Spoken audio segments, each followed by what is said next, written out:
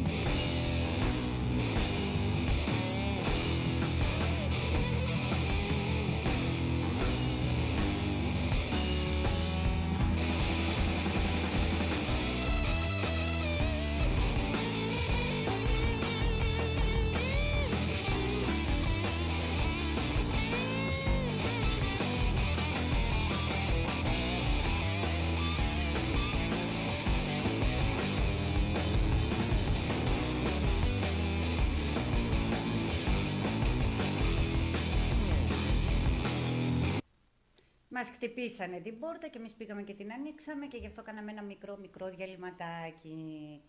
Λοιπόν, και να φτιαχτώ κιόλας. Ε. Να πούμε ένα όμορφο απόγευμα, ε, ζεστό που εντάξει σαν να δρώσει σε λιγάκι τώρα. Η αλήθεια είναι και είπαν ότι από αύριο θα χαλάσει και ο καιρός αρκετά. Τώρα είμαστε το λένε για να μας φοβίζουν ότι δεν θα φύγει ποτέ ο κορονοϊός από τη ζωή μας αυτός ο ιός και ότι μπορεί να είναι, ποιος ξέρει τώρα, ε, είναι ο καιρός μας. Έχει και ο καιρός γυρίσματα, αυτό το τραγούδι πάει τώρα, έχει ο καιρός γυρίσματα, πώς το λέει. Μετρώ και το αριστερό μου χέρι, μάλλον λεφτά θα δώσω.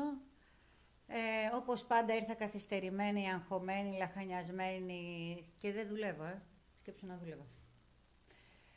Λοιπόν, ε, έχουμε πολλά. Έχω, έχουμε πολλά να συζητήσουμε γενικά για πολλά πράγματα που έχουν συμβεί στην καθημερινότητά μας, που τα βλέπουμε, που έχουμε γίνει η μεν και η δεν, η φοβική του κορονιού, η μη φοβική του κορονιού, οι καταδότες, οι καταδότες, τι είναι αυτό το καινούριο τώρα, όχι βλέπω σκουπίδια τα φωτογραφίζω, κρίνω γιατί είναι τα σκουπίδια, όχι βλέπουμε ακαθαρσίες σκύλων, βλέπουμε γιατί είναι οι ακαθαρσίες σκύλων έχουμε γίνει ψιλορουφιάνοι. Άλλο να καταγγείλω κάτι γιατί με ενοχλεί, γιατί μου χαλάει τον ύπνο, ε, γιατί μπορεί να τραυματιστεί κάποιος, γιατί κι άλλο τώρα να κάθε τρεις και λίγο να βλέπουμε στο facebook όχι πόσο συνοστισμός υπήρχε στην πλατεία. Ε, ο ένας κάθεται δίπλα στον άλλον. Τώρα, δηλαδή έχουμε, δεν ξέρω αν καταλάβατε, αλλά έχουμε γίνει όπως ήταν την κατοχή που υπήρχαν αυτοί που ήταν οι Ρουφιάνοι, ε, έχουμε τέτοιους, Κυριλέ. Κοίταξε να δει, δηλαδή, τους, και τους διακρίνουμε κιόλας, δηλαδή τους βλέπουμε ποιοι είναι. Είναι φοβερό αυτό το πράγμα που συμβαίνει. Να βλέπεις τόσο κόσμο ένας να ρουφιανεύει τον άλλον. Άλλο καταγγέλνω κάτι γιατί κινδυνεύει ένα παιδί, χαλάει την ηρεμία μας. Και άλλο κάθομαι και ρουφιανεύω το αν οι συμπολίτες μου είναι όλοι μαζί στις πλατείες και κάθονται ή κάθονται στα πάρκα. Έλεος, παιδιά. Και θα πούμε και κάτι.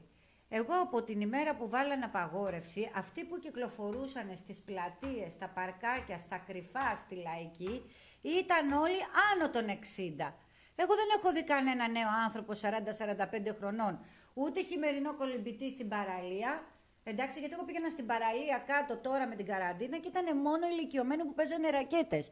Που είναι συνταξιούχοι άνθρωποι που το έχουν ρίξει στον αθλητισμό.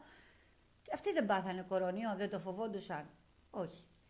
Ε, ε, έχω αρκετούς φίλους άνω των 60 και όλοι είναι υγιείς. Κανείς δεν κόλλησε κορονοϊό. Κανείς, μα κανείς. Σήμερα πάλι πήγα στη θάλασσα και έβλεπα όλο ηλικίες 80-85 φεύγα αυτοί τολμούν και δεν φοβούνται. Τώρα σου λένε δεν πάνε να πνιγούν. Εγώ είμαι 80, ζήσω και άλλα 5-10 χρόνια, να τα ευχαριστηθώ. Αν είναι να το πάθω, μπορεί να σκέφτονται έτσι οι άνθρωποι. αλλά καταστρέψαμε μια ενεργή γενιά για να, για να γλιτώσει μια γενιά που έχει αποσυρθεί στην ουσία. Και εν τέλει αυτή η αποσυρμένη γενιά δεν κάθισε σπίτι της να φυλαχτεί. Ε, αν κάτσετε να το σκεφτείτε και να το παρατηρήσετε και ο καθένας με τον εαυτό του. Εγώ έχω καλούς φίλους που είναι 67 χρονών, 68, 70, 65, άνω των 60, που και δεν κλειστήκανε στα σπίτια τους και βγαίνανε και θάλασσα και αθλητισμό. Ε, έχω ένα συμμαθητή μου, τον κύριο Ανάργυρο, που τον συνάντησα προχτές, που θα έρθει εδώ στην εκπομπή. Τον λέω συμμαθητή μου γιατί του αρέσει η μάθηση, είναι 92 χρονών. Και επειδή συνυπάρχουμε σε ένα νυχτερινό σχολείο, του λέω εγώ έστειλα, λέω χαρτί ότι επειδή έχω ευπαθείς ομάδες στο σπίτι δεν θα πάω. Εσείς κύριε Ανάργυρε, όχι, εγώ μου λέμε νέος και θα πάω. Φοράω τη μασκούλα μου, φοράω το απολυμαντικό μου και θα πάω. Ε, ε, νιώθει και καλά κάνει και νιώθει και μακάρι να φτάσουμε όλοι 92 χρονών και να νιώθουμε 11 όπως νιώθει ο κύριος Ανάργυρος και θα τον φέρω εδώ για παράδειγμα. Αλλά μου κάνει εντύπωση πώς φαγωθήκαν όλοι για τον κορονιό. Τώρα κάποια στιγμή, μήπως φέρουμε και άτομα και το συζητήσουμε όλο αυτό, κατά πόσο ήταν αλήθεια, κατά πόσο ήταν μούφα. Άλλοι λένε για τις κάσες που βλέπαμε ότι ήταν ε, ε, στην Ιταλία από στρατιωτικά άλλα βίντεο και γι' αυτό τα είχαν βάλει, ήταν μονταρισμένα και φτιαγμένα. Ε, βλέπουμε έναν Αμερικάνο που ήταν 200 κιλά και λέει δηλώνει ότι ήταν ε, αυτός που δήλωνε στο facebook ότι είναι ψέμα κορονοϊός, ψέμα κορονοϊός και τώρα θέλει να τον πιστέψουμε γιατί κόλλησε και εκείνος. Εντάξει, εγώ να απαντήσω σε αυτόν τον κύριο ότι εγώ επιμένω ότι είναι ψεύτικος ο κορονοϊός γιατί και εγώ από την εμπειρία μου δεν έχω δει κανένα να, κολλήσει. Να κολλήσει. Δηλαδή από όλους τους γύρω με εμένα, ναι. Από όλους τους γύρω μου. Έχω παιδιά στα καράβια που δουλεύουν. Έχω ανθρώπους στο εξωτερικό. Έχω ε, κάποιους φίλους που πήγανε και ήρθανε με έκθεση που ήρθε από τον Καναδά, από την Αμερική που κάνανε, που όλοι αυτοί οι άνθρωποι φύγανε, μετά την, φύγανε από την Ελλάδα μετά την απαγόρευση που είπαν ότι δεν θα φεύγουν αεροπλάνα από εδώ και όμως αυτοί φύγανε. Κινηθήκανε κανονικά μέσα στα χωριά, όλα τα ελληνικά χωριά. Δεν είναι μεγάλες ηλικίες, ε μιλάμε πάντα για μεγάλες ηλικίες. Δεν σας μιλάω 40, 45, 50. Μιλάω για 70, 60, από 60 και πάνω. Για τέτοιες ηλικίες. Και δεν φυλαχτήκανε και δεν αρρωστήσανε και δεν πάθανε τίποτα. Έχω φίλους που είναι στην Αμερική που μου λένε ότι δεν είναι τόσο τραγικά τα πράγματα. Έχω φίλο στο Νέα Υόρκη που μιλάγαμε και λέει ναι έχουμε μια καραντίνα εδώ, ναι εντάξει, αλλά δεν είναι και τόσο όσο ακούγονται. Κάτι παίζεται. Εγώ είμαι της άποψης ότι ναι μεν υπάρχει ένας ιός, πρέπει να υπάρχει προσοχή, αλλά πολύ ντόρος. Θα μπορούσαμε να μην χάσουμε τις δουλίτσες μας, να μην αγωνιούμε τώρα όλοι μας αν θα δουλεύουμε τον Ιούνιο ή τον Ιούλιο, γιατί εγώ αυτή τη στιγμή αγωνιώ, δεν ξέρω τι μου ξημερώνει τον Ιούνιο. Και σαν και εμένα αγωνιούν πάρα πολλοί κόσμος. Εντάξει, θα μου πεις, το λέω για μένα, εγώ ξέρω τη δουλειά μου, ξέρω τον εργοδότη μου, τον τιμάω, με τιμάει, δεν έχω και πολύ άγχος. Αλλά ποτέ μιλές ποτέ όμως, δεν ξέρεις τι γίνεται, ε; Ποτέ μιλές ποτέ. Γι' αυτό πρέπει να προσέχουμε. Μάλλον να, να, να φωνάζουμε τι είναι όλο αυτό που ζούμε. Ένα άλλο που θέλω να σας πω είναι ότι στη σχολή που πηγαίνω, στο νυχτερινό σχολείο που πηγαίνω, το ΕΠΑΛ, η καθηγήτρια της νοσηλευτικής 12 Δεκεμβρίου, και σας λέω την ημερομηνία γιατί είχα πάει όλο χαρά και τα έλεγα τον μπαμπά μου και 13 έπαθε εγκεφαλικό και τον έχασα. 12 Δεκεμβρίου λοιπόν μας λέει η καθηγήτρια ότι καθίστε να δούμε ρε παιδιά, θα ήμασταν, γιατί ήταν, ε, μας έλεγε αυτή η καθηγήτρια της νοσηλευτικής ότι θα έρθει μια άλλη καθηγήτρια να μας αναλάβει ε, είναι το προσωπικό που έλειπε, που έπρεπε να ήταν από την αρχή της χρονιάς και εν τέλει τη γυναίκα της στείλανε Χριστούγεννα και θα, θα έπαιρνε τη δική μας τάξη. Και μας το έλεγε η άλλη καθηγήτρια και λέει, βρε παιδιά, μην αγωνείτε κιόλας, γιατί δεν ξέρουμε και τι θα γίνει. Μπορεί να μην έχουμε σχολείο. Το... Δηλαδή το ξέρανε. Κάποιοι το ξέραν ότι οδεύουμε στο κλείσιμο των σχολείων το Μάρτιο. Το ξέρανε από το Δεκέμβρη. Οι καθηγητές μου δηλαδή εμένα το ξέρανε. Το είχαν υποψιαστεί. Το ακούγανε. Άρα κάτι συμβαίνει σε αυτό. για να το ξέρουν. Και θυμάμαι πήγα στον μπαμπά μου και του λέω, α, μπαμπά, του λέω, καλά, του λέω που μαθαίνω νοσηλευτική να σε φροντίζω, γιατί υπάρχει περίπτωση, του λέω, να μας κλείσουν μέσα στα σπίτια. Και η μου κάνει, χαρά, στάμε εδώ να το ζω. Και δεν το ζήσα, όντως ο καημένος. Και εγώ όλο το συζητάω να μου φύγει. Θέλω να με συγχωρέσετε αν σας κουράσω σε μερικές εκπομπές να τον αναφέρνω συνέχεια. Αλλά μου λείπει. Ε, τι άλλο ήθελα να πω; Άρα ξέρανε, κάποιοι ξέρανε τι θα γίνει. Κάποιοι, πολλοί ξέρανε. Και η Κίνα ήξερε και το ξέρε από νωρίτερα που είχε πάει σε αυτούς και ξέρανε ότι θα φύγει και θα ξαπλωθεί και αυτό όλο που είχε συμβεί, τέλος πάντων. Άρα ήταν κάτι προκατασκευασμένο. Και θυμάμαι τότε, λέω σε μια φίλη μου Σιριζέα, που της είχε κάτσει από το καλοκαίρι έτσι πληγή για τα αποτελέσματα που βγήκανε, της λέω, βρε αγαπημένη μου, της λέω, τι αγχώνεσαι, εδώ καλύτερα, λέω, ε, της λέω, έχουν να γίνουν καταστάσεις, της λέω, αν είναι να έρθει αυτός ιός και να κλείσει η χώρα, ας μην είναι ο Τσίπρας, Μητσοτάκη.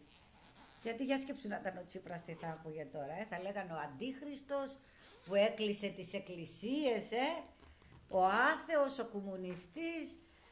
Τώρα δεν το έκανε όμως ο κομμουνιστής, το κάνανε αυτοί που κάνουν πολλούς σταυρούς και μετάνιες, ε; Αυτοί με ελαφρά καρδία δώσαν άμεσα την εντολή. Τέλος πάντων η Εκκλησία μας έκανε ταπείνωση γιατί έτσι πρέπει, γιατί πρέπει να σκύβουμε το κεφάλι και να καθόμαστε να τρώμε το πρώτο χαστούκι. Όταν όμως δούμε ότι αυτό το χαστούκι δεν είναι δίκαιο και όταν βλέπουμε ότι σκύβουμε το κεφάλι και άλλος πάει να μας καβαλήσει, τότε επαναστατούμε όσο χριστιανοί και να είμαστε. Άλλωστε μην ξεχνάμε ότι και ο Χριστός όταν είδε στο ναό του, πες το που το ξεχνάω, ε, τα έκανε όλα άνω κάτω όταν είδε τα παρατράγουδα, όταν είδε τα παζάρια, όταν είδε τα συμφέροντα και αυτά. Γιατί είναι φυσικό στη, στην αδικία να αντιδράς. Στην αδικία να αντιδράς. Όταν λοιπόν και η Εκκλησία μας αντιληφθεί ότι, μάλλον, ε, αφού γραστεί ότι μπορεί όλο αυτό να είναι μια σκευωρία και ένας πόλεμος συγκεκριμένα για εκείνη, να ξέρετε ότι θα αντιδράσει και θα αντιδράσουμε άσχημα. Ένα άλλο που μου έκανε εντύπωση και με έκανε και να χαρώ κιόλας. είναι ότι πολλοί ας πούμε που δεν τους στόχα, τώρα ή ήταν επειδή είναι αντιδραστικά στοιχεία έτσι κι αλλιώς και τους λες άσπρο και θα πούνε μαύρο, τους λες μαύρο και θα πούνε άσπρο, αυτό δηλαδή που είδα κάτι άτομα να λένε για τις εκκλησίες που τις κλείσανε, για τη Θεία Κοινωνία, που, τα, που δεν βάζουμε έξω μεγάφωνα να ακουστούν ε, και μου το σχολιάζανε κάποιοι άνθρωποι που αφιβάλλον θα πηγαίνουν δύο φορές το χρόνο στην εκκλησία.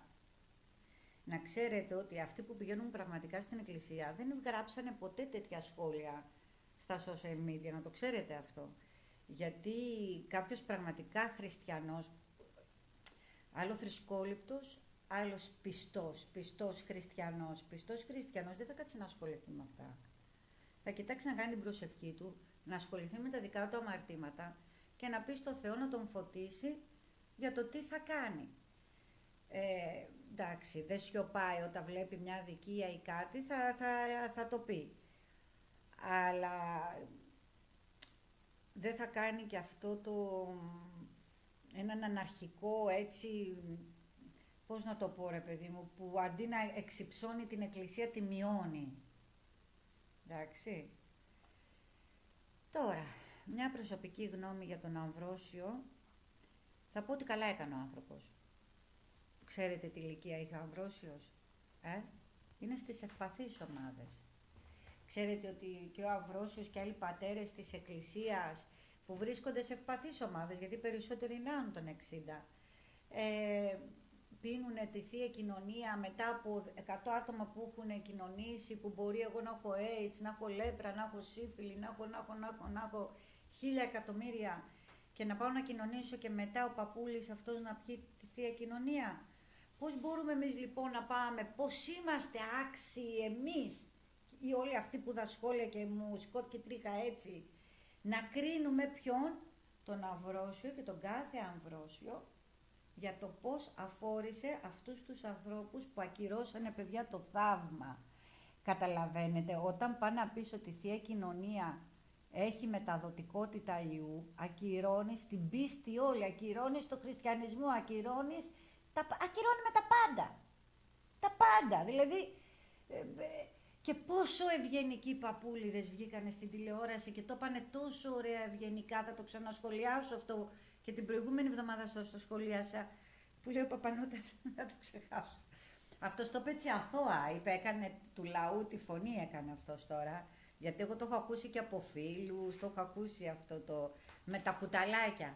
Να αλλάζουμε κουταλάκι. Μα ε, παιδιά, όλο αυτό είναι. Δηλαδή, αν πιστέψω εγώ από το Άγιο Δισκοπότηρο, από το κουταλάκι αυτό ότι θα μου μεταδοθεί ο ιό, τελείως ακύρωσα την πίστη μου. Τελείωσε. Δεν, δεν πιστεύω. Είμαι κενή. Τέλος. Και λυπάμαι πάρα πολύ. Και πρέπει πρέπει να αρχίσουμε να προσευχόμαστε για αυτούς τους διχασμένους πιστούς, τους διχασμένους, αυτούς τους πιστούς που φοβήθηκαν, που μπήκε ο διάβολος μέσα τους και τους έβαλε έστω και για ένα λεπτάκι την ανασφάλεια. Να βλέπω ανθρώπους που έρχονται, πάνε στην εκκλησία, ε, κοινωνάνε, κρατάνε τα τυπικά όλα τα εκκλησιαστικά και να σου λένε φοβάμαι να πάω να κοινωνήσω. Ε, ρε παιδιά, αυτό παρά είναι Θεάθηνε, παρά είναι. Δηλαδή, τι, ε, ε, τι να πω τώρα. Δεν θα κρίνω κανέναν, απλά να σας πω κάτι. Και εγώ είμαι ολιγόπιστη γιατί φοβάμαι το θάνατο. Αυτό είναι ολιγοπιστία. Δεν πιστεύω. Άρα, εντάξει, μην κρίνω τους άλλους που φοβηθήκαν τη Θεία Κοινωνία. Εντάξει. Α, α, μπορεί και αυτοί να σκέφτονται όπως εγώ φοβάμαι το θάνατο θα φοβούνται και αυτοί οι άνθρωποι το θάνατο και σου λένε: Α, μπορεί να κοινωνήσω, κολλήσω τον ιό και να πεθάνω. Εντάξει, είναι, είναι πολύ βλακιά μας αυτό που δεν θέλω να τους κρίνω. Τώρα κάνω και μια... γιατί νιώθω ότι κρίνω και δεν είναι καλό, αλλά δεν κρίνω. Προσπαθώ να τονίσω στους ανθρώπους ότι είναι άκυρο, είναι ε, λάθος μεγάλο, είναι αμάρτημα. Πώς να το πω με λόγια. Να, να ακυρώνουμε το δισκοπότηρό μας και ό,τι γίνεται μέσα εκεί. Κοινωνάμε σώμα και αίμα Χριστού, δεν κοινωνάμε κρασάκι και ψωμάκι, παιδιά. Γίνεται ολόκληρο λειτουργήμα, γίνεται. Και εδώ πάνω θα σας πω μια παραβολή για έναν... Ε, ήταν ένας παππούλης που ήταν πολύ καλός, ταπεινός, ε, πολύ καλός αβάς. Και απλά είχε και αυτό την πεποίθηση ότι το, το, είναι μια μεταφορά το νεράκι, το κρασάκι με το ψωμάκι. Πήγαιναν οι άλλοι πατέρες και του λέγανε με αγάπη ότι παππούλη βγάλε αυτή την ε, ιδέα από, από σένα γιατί είναι αμάρτημα, δεν είναι σωστό και τέτοια. Να ξέρετε πάντα ότι ο καλοπροαίρετος άνθρωπος ακούει, ο καλοπροαίρετος ακούει, ο κακοπροαίρετος, ο εγωιστής δεν ακούει παρά μόνο έχει δίκιο. Γνώρισα τώρα τελευταία κάποιους τέτοιους. Λοιπόν, ε, ο καλοπροαίρετος όμως πάντα ακούει. Έτσι και ο παππούλης αυτός άκουσε τους αδερφούς του και είπανε να κάνουμε το εξής. Θα προσευχηθούμε με εγκάρδια εσείς να δούμε να μας φανερώσει ο Χριστός την αλήθεια. Μην πλανεύομαι εγώ, μην πλανεύεστε κι εσείς. Πραγματικό ο παππούλης ξεκίνησε, έμεινε στο κελάκι του, προσευχόταν μέρα νύχτα και έλεγε Χριστέ μου, σε παρακαλώ, φανέρωσε μου την αλήθεια σου, ώστε να μην είμαι κι εγώ πλανεμένος και κάνω πλανεμένες σκέψεις. Το ίδιο προσευχηθήκανε και οι άλλοι πατέρες ότι φώτισέ μας να κάνουμε το σωστό, μην κάνουμε κι εμείς κάτι. Πραγματικά, την Κυριακή όπως γινόταν η Θεία Λειτουργία και ο παππούλης αυτός έχει πάρει το ψωμάκι και το μαχαίρι να κόψει, ενώ έχει γίνει το λειτουργήμα στην ωραία τράπεζα, κατεβαίνει ένας ο Αρχάγγελος, έχει ένα μωρό στα χέρια του και έχει και ένα σπαθί και το τεβαχιάζει το μωρό. Αυτά τα βλέπει ζωντανά ο παππούλης που και όταν κοινώνησε είδωλο ζωντανό το κρέας και το, και το αίμα του Χριστού. Και αυτό θα ήθελα να το πω σε πολλούς που λένε ότι εγώ είμαι άνθεος, εγώ δεν πιστεύω. Ας κάνουν αυτό το πείραμα. Ας προσευχηθούν εγκάρδια μέσα από την ψυχή τους. Αν νιώθουν έτσι μια, ένα κενό μέσα τους, μια, αν, αν κάνουν αυτογνωσία, γιατί υπάρχουν πολλοί άνθρωποι που δουλεύουν άθεοι, αλλά είναι τόσο ε, είναι ταπεινή. Εγώ γνώρισα έναν άνθρωπο που μου είπε ότι το Θεό το γνώρισε στα 60 του. Διάβαζα, διάβαζα, διάβαζα, μου λέει τόσα χρόνια, μάθαινα, μάθαινα πράγματα. Την αλήθεια του Χριστού μου την κατάλαβα και τη συνειδητοποίησα στα 60. Δηλαδή, και εσείς που δηλώνετε άθεοι, για ζητήστε από αυτόν το Χριστό που δεν τον πιστεύετε, που το θεωρείτε δάσκαλο, με πίστη όμως μέσα από την καρδιά σας, να σας φανερώσει ένα έργο του. Και μετά όμως να πιστέψετε, όχι πάλι να δικαιολογηθείτε, εντάξει. Γιατί ο Θεός κάνει πολλά θαύματα μικρά μικρά και εμείς δεν τα βλέπουμε. Κάθε μέρα γίνονται θαύματα, πολλά πολλά πολλά μικρά θαύματα. Λοιπόν, και αυτό ήταν μια ωραία εισαγωγή για να μπούμε στα θαύματα, γιατί Τώρα θα σας πω τι γίνεται. Κανονικά ήταν να παρουσιάσω κάποια διηγήματα ενός ε, φίλου. Βέβαια, υπάρχουν πολλοί καλλιτέχνες. Τώρα αυτό το λέω με αγάπη. Με πολύ αγάπη το λέω. Για κάποιον φίλο καλλιτέχνη που του έχω κάνει τρεις φορές το κάλεσμα. Του βρήκα εναλλακτικές μέσω messenger, μέσω τηλεφώνου. Εγώ είπα τηλέφωνο, απλά να τον πάρω, να διαβάσω τα διηγήματα του και να τον πάρω ένα απλό τηλέφωνο και διατηλεφώνω να μας έλεγε δύο κουβέντες. Ούτε αυτό δέχτηκε, ούτε Messenger δέχτηκε, τίποτα δεν δέχτηκε. Εντάξει, έτσι όμως, ή είναι και λίγο εγωιστικό ότι μπορεί μόνος του να προωθήσει το έργο του, ή είναι πάρα πολύ ταπεινός. Εγώ θα δεχτώ τη δεύτερη εκδοχή. Δεν θα δεχτώ την εκδοχή της υπέρτατης υπερηφάνειας. Θα δεχτώ το το δεύτερο, ότι μάλλον από πολύ ταπείνωση δεν θέλει να αυτοπροβάλλεται και γι' αυτό απέφυγε να έρθει εδώ. Ευελπιστούμε να το σκεφτεί, γιατί είναι, είναι ταλαντούχος άνθρωπος, έχει ταλέντο, είναι ταλαντούχος και είναι καλό το έργο του να φαίνεται. Δεν νομίζω ότι από την αυτοπροβολή του φαίνεται το έργο που κάνει. Θα έπρεπε λίγο πιο πολύ, δεν ξέρω, εντάξει. Ε, δεν θέλω να το κρίνω άλλο. Για να πάμε να ακούσουμε λίγη μουσικούλα και μετά να πούμε σε ένα... Μετά να μπούμε στην οπτασία και τα θαύματα του Άγιου Μεγαλή... Ε, Μεγαλομάρτυρας Εφ... Εφρέμ του Θαυματουργού. Πήγα χθε στον Άγιο Εφρέμ λοιπόν, εφόσον είδα ότι ο φίλος μας δεν μπορεί να έρθει σήμερα ο καλεσμένος μας, σκέφτηκα, πήρα αυτό το βιβλίο βασικά για να το κάνω δώρο σε μία κοπέλα στη δουλειά αν πάω. Πρώτα ο Θεός, πρώτα ο Θεός να πάμε στη δουλειά μας. Επειδή μου το ζήτησε, της το πήρα να της το κάνω δώρο. Όταν λοιπόν πήρα την απάντηση το βράδυ ότι δεν θα μπορέσει ο καλεσμένος μου να παραβρεθεί, σκέφτηκα να σας κάνω μια παρουσίαση στα θαύματα του Αγίου, να πάρουμε και λίγη ψυχική δύναμη για όσους πιστεύετε σε μια ανωτέρα δύναμη, γιατί τώρα έχουμε γίνει εδώ πέρα, φοβόμαστε ρε παιδιά να πούμε κάποια πράγματα. Φοβόμαστε να πούμε ότι αγαπάμε περισσότερο τον άνθρωπο από τα ζώα. Ε, ναι, άμα το πεις αυτό, είσαι κακός άνθρωπος. Δεν έχεις ψυχή, είσαι σκατόψυχο. Λοιπόν, τέλος πάντων, έχουμε μπερδέψει κάποιες καταστάσεις. Ε, να βάλω λίγη μουσικούλα για να πιω λίγο νεράκι και να συνεχίσουμε με το βιβλίο που σας είπα.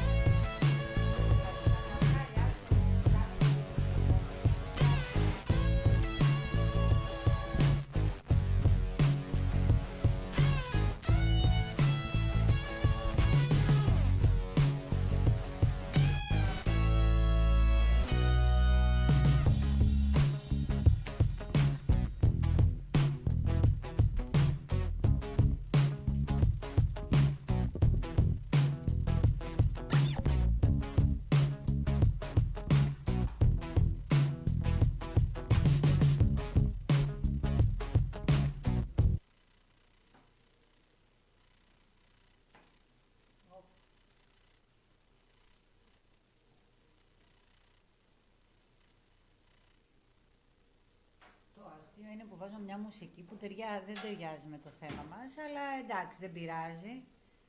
Τι να κάνω τώρα, φοβάμαι και τα δεδομένα. Ε, έλα ρε παιδί μου, αυτά τα δεδομένα, Θεέ μου, Θεέ μου, πώς μπόρεσε να με πικράνει. Αυτά τα δεδομένα. Λοιπόν, ε, αφε, αφιερούνται ευλαβώς εις την εκατόμβην των κοιμηθέντων εκ της φωνικής πυρκαριάς του 2018 εις την Πολακής και καυμένη Ανατολική Νατική. Α, είναι έκδοση. Είναι πιο χοντρό βέβαια. Είναι τωρινή έκδοση.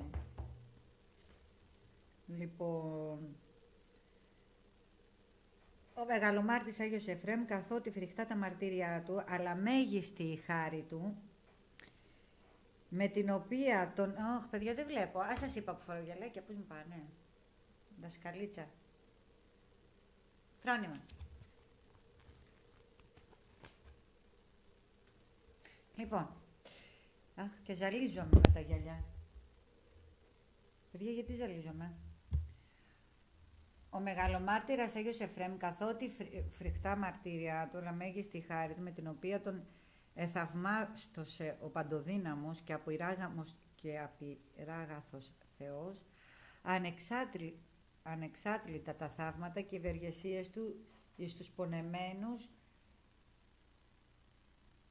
και παντιοτρόπους δοκιμασμένους ανθρώπους οι οποίοι αδιαλείπτως σειρεύουν εις την Ιερά Νημών Μονή του Ευαγγελισμού της Θεοτόκου και Αγίου Εφραίμ του όρους των Αμαρών.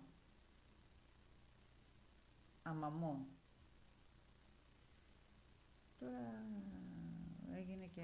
Τώρα πρέπει να γίνει η Ευαγγελισμού, ε, ήτανε.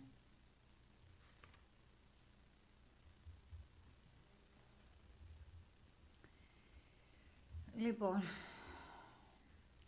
αυτή η πληθώρα της καταθέσεων μαρτυριών και ειδικά η επιθυμία της μακαρίστης, της γερόντισσας Μακαρίας προς έκδοση αυτών, μας υποχρεώνουν να προβούμε με πολλή συγκίνηση, ευγομοσύνη και πίστη προς τον Πανάγαθον Θεόν εις την έκδοση του επόμενου βιβλίου του Άγιου Εφραίμ του 20ου αιώνα, 21ου αιώνα. Και είναι ΚΑ τόμου, μια νέα θα... ΚΑ τι είναι δηλαδή στα, ε, στη γραμματική, είναι ΚΑ δέκατο, δέκατο, δέκατο, πώς πάει, δέκατο, εντεκάτο σταθμός, κάπως έτσι. Δεν το καταλαβαίνω αυτό. Με νέα θαύματα τελεστένταν εις όπασης της οικουμένης, τα, πέρα, τα πέρατα από την αγάπη και την εσπλαχνία του Αγίου, η οποία είναι άβυσος πολύ. Κατατηρήσει της μακαρής της γερόντισσας Μακαρίας, αλλά και κατά την ειδική του ρίση. Λίγο προτούν έλθουν τα δεινά, θα κάνω θαύματα πολλά για να πιστέψει ο κόσμος και να σωθεί.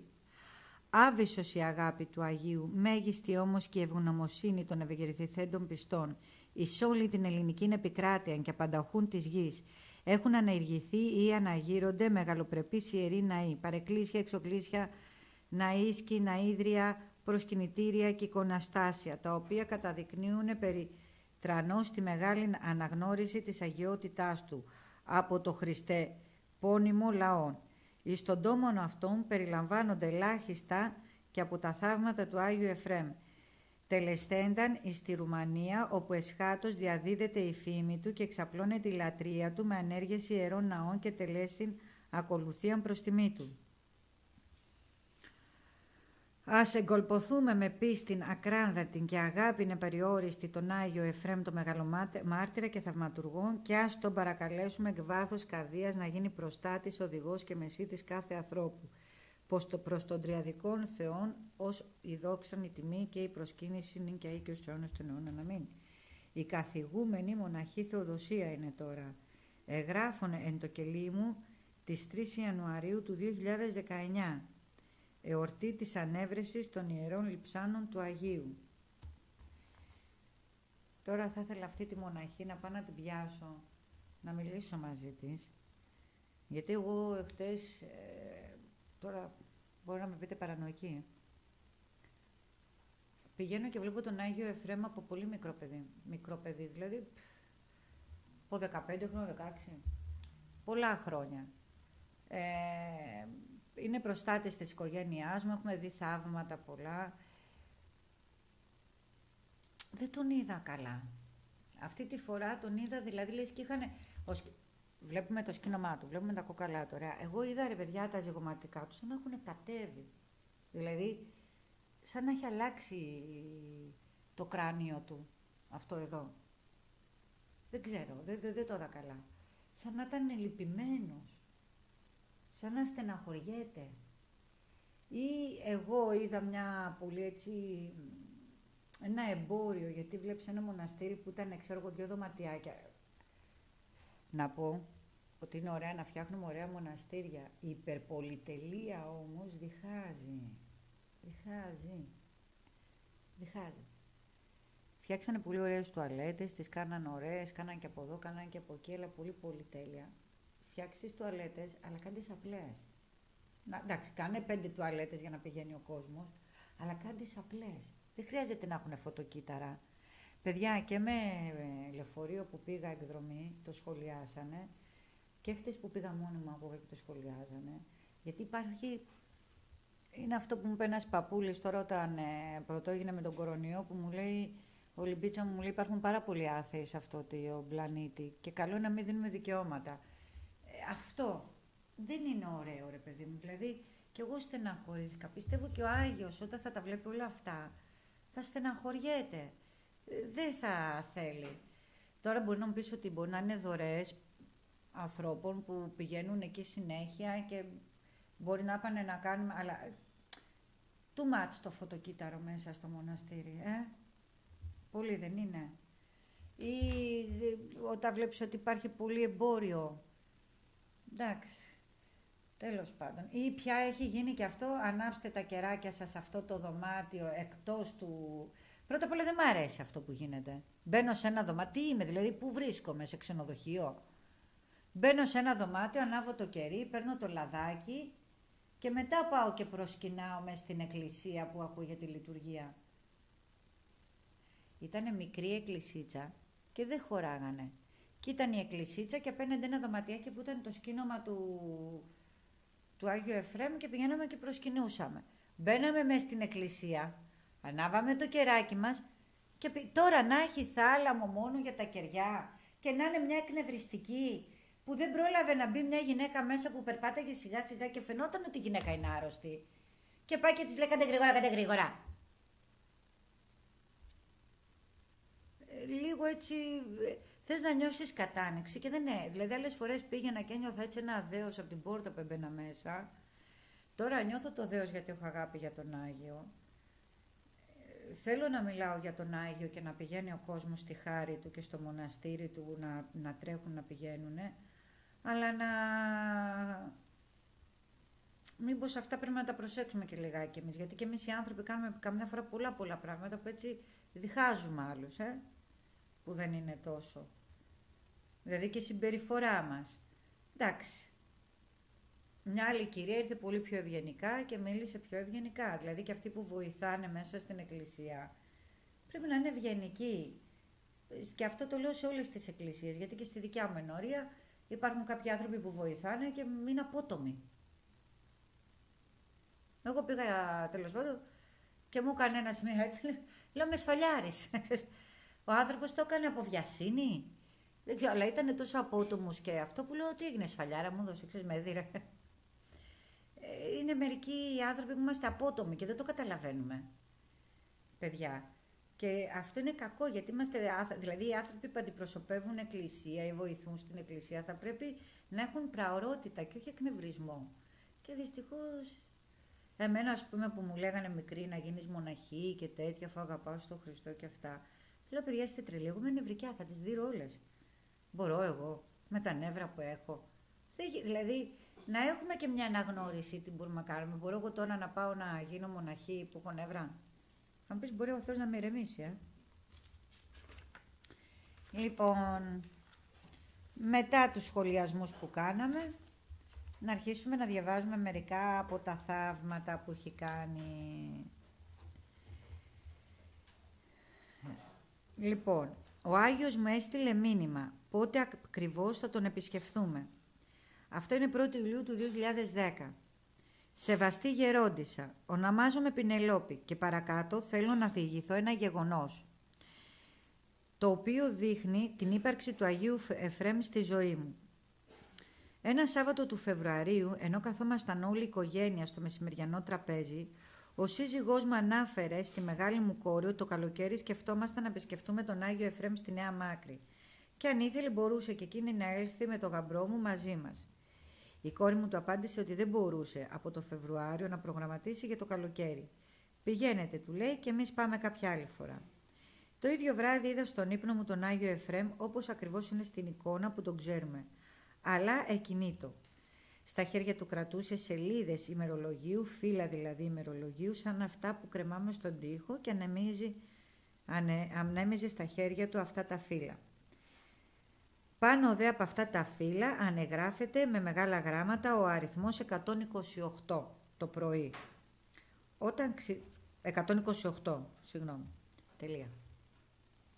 Το πρωί όταν ξύπνησα λέω, δεν μπορεί σε 128 μήνες, κάτι θα συμβεί, αφού τα φύλλα ημερολογίου οπωσδήποτε φανερώνουν τον αριθμό των ημερών. Σημείωσα σε ένα κομμάτι χαρτί την ημερομηνία που είχα δει το όνειρο στις 27 Φεβρουαρίου, δηλαδή και σημείωσα επίσης και τον αριθμό 128 που ανεγράφατον στα φύλλα του ημερολογίου. Σε κανέναν δεν αποκάλυψα τον όνειρό μου για να μην επηρεάσω καθόλου κάποιες καταστάσεις. Τα του ταξιδιού που θα πήγαιναμε κλπ. τα διευθέτησε η μικρή μου κόρη η οποία θα μας ακολουθούσε στο ταξίδι. Διευθέτησε η ημερομηνία του ταξιδιού σύμφωνα με τις απαιτήσεις και το πρόγραμμα της εργασίας της, χωρίς εγώ να εκφράσω άποψη ή γνώμη σχετικά με την ημερομηνία. Εν τω μεταξύ συνεχίζω να μου λέει σε συνέχιζα να μην λέω σε κανέναν από την οικογένειά μου το όνειρο που είχα δει με τον Άγιο Εφραίμ. Όταν διευθέτησε το χρόνο που θα γινόταν το ταξίδι, πήγε στο ταξιδιωτικό γραφείο, προκράτησε εισιτήρια και ήρθε σπίτι και μας είπε ότι έκλεισε θέσεις να πάμε στις 2 Ιουλίου του 10. Άρα 128 είναι... δεν πάει. 2 Ιουλίου ημέρα Παρασκευή φεύγουμε για Αθήνα. 3 Ιουλίου ημέρα Σάββατο θα κάνουμε με κάποιους γύρω στην πόλη την και Κυριακή 4 Ιουλίου είναι ότι πρέπει να πάμε για τον Άγιο Εφρέμ. Ξαφνικά μου ήρθε στο μυαλό το όνειρό μου που είχα δει στις 27 και πάνω από τα φύλλα του ημερολογίου παρουσιαζόταν το 128. Πήρα το ημερολόγιο στη συνέχεια και μέτρησα από τις 27 Φεβρουαρίου μέχρι 4 Ιουλίου πόσες μέρες ήταν. Προς μεγάλη μου έκπληξη διαπίστωσα ότι ήταν 128 ημέρες. Ο Άγιος από εκείνη τη στιγμή μου είπε πότε θα έρθουμε στη χάρη του. Μεγάλη χάρη του Άγιου Εφρέμ, ο Άγιος Εφρές κατατάσσεται μέσω των μεγάλων Αγίων. Ε, και εγώ έχω, και η δικιά μου οικογένεια έχει δει ένα θαύμα με τη μανούλα μου τον είδωλο ζώντανο και μετά δεν έκανε χειρουργείο. Ε, εγώ τα πιστεύω όλα αυτά. Αυτό το θαύμα έγινε Λευκοσία από ανθρώπους από τη Λευκοσία. Να πούμε ότι όλα αυτά τα θαύματα που θα διαβάσουμε είναι τώρα το 10, το 11, ε; είναι τώρα πρόσφατα δηλαδή, δεν είναι... Λοιπόν, έχει πολλά θαύματα, γιατί είναι καθαρά ένα βιβλίο μόνο, γιατί έχει πολύ λίγα για το βίο του. Για να δω. Και μετά έχει πολλά θαύματα.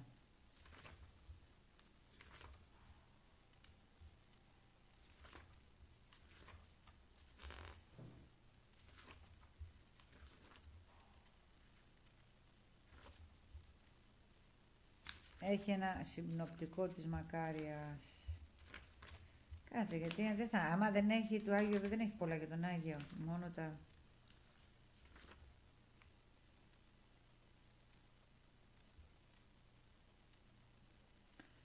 Ιούλιος 2013. Λοιπόν, να πω ότι δεν έχει πολλά για τον Άγιο. Λίγα έχει, α. Έχει τα θαύματά του όμως. Λοιπόν, Κραυγαλαίο θαύμα άμεσης θεραπείας και των δυο γονάτων μου μόνο με την επίκληση της βοήθειας του Αγίου και νηστεία. Αγία, το Ιούλιος του 13, 2013. Αγία Ηγουμένη, σεβαστές μοναχές ευλογείτε. Ονομάζομαι Σωτήριος, ετών 39, κάτοικος Περιστερίου Αττικής. Αισθάνομαι βαθιά την ανάγκη και την υποχρέωση να διηγηθώ το το, τη θαυμαστή παρέμβαση του Αγίου μας Εφρέμ στη ζωή μου. Υπήρξα αθλητής της καλοθοσφαίρησης για 15 χρόνια. Η υπερβολική προπόνηση, η εμπιστοσύνη στις δυνάμεις μου και η αμέτρητη φιλοδοξία μου με οδήγησαν στη ρήξη του έσου μηνίσκου στο δεξί γόνατο, στο οποίο και εγχειρίστηκα αρθροσκοπικά στα 24 μου χρόνια. Τι είναι αυτό;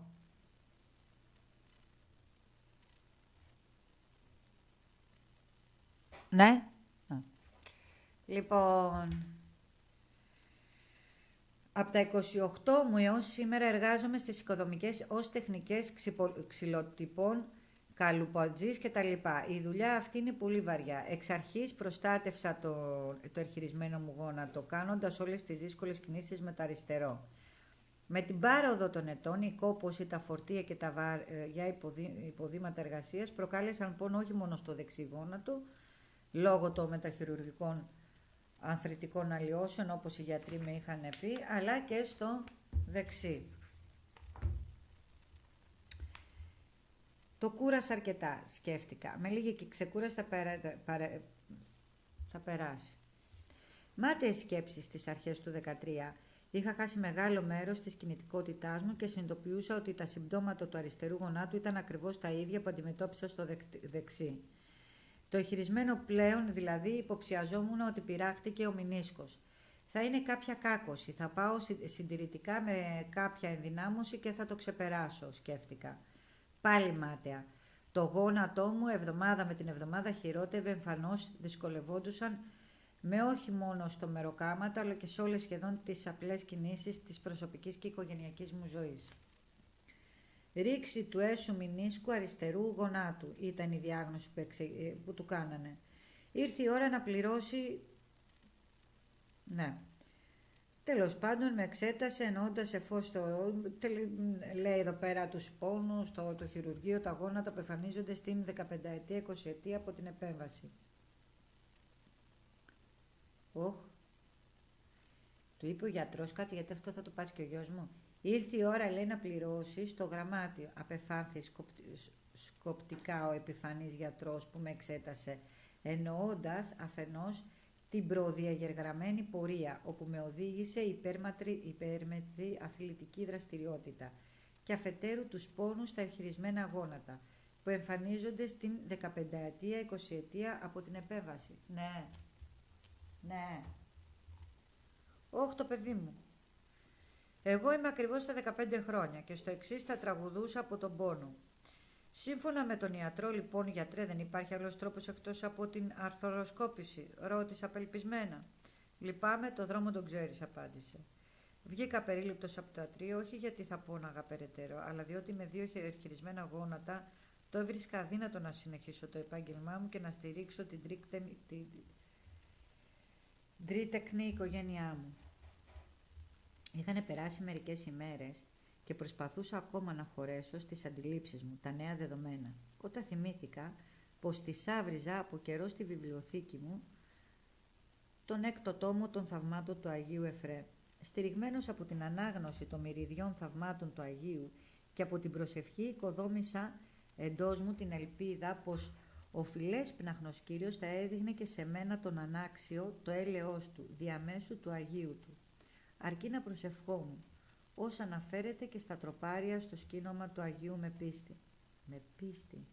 Για το τι, Σωτήρη, ότι θα σου δώσει ένα καινούριο μηνίσκο; Μα αυτό δεν είναι μια απλή συγκυρία.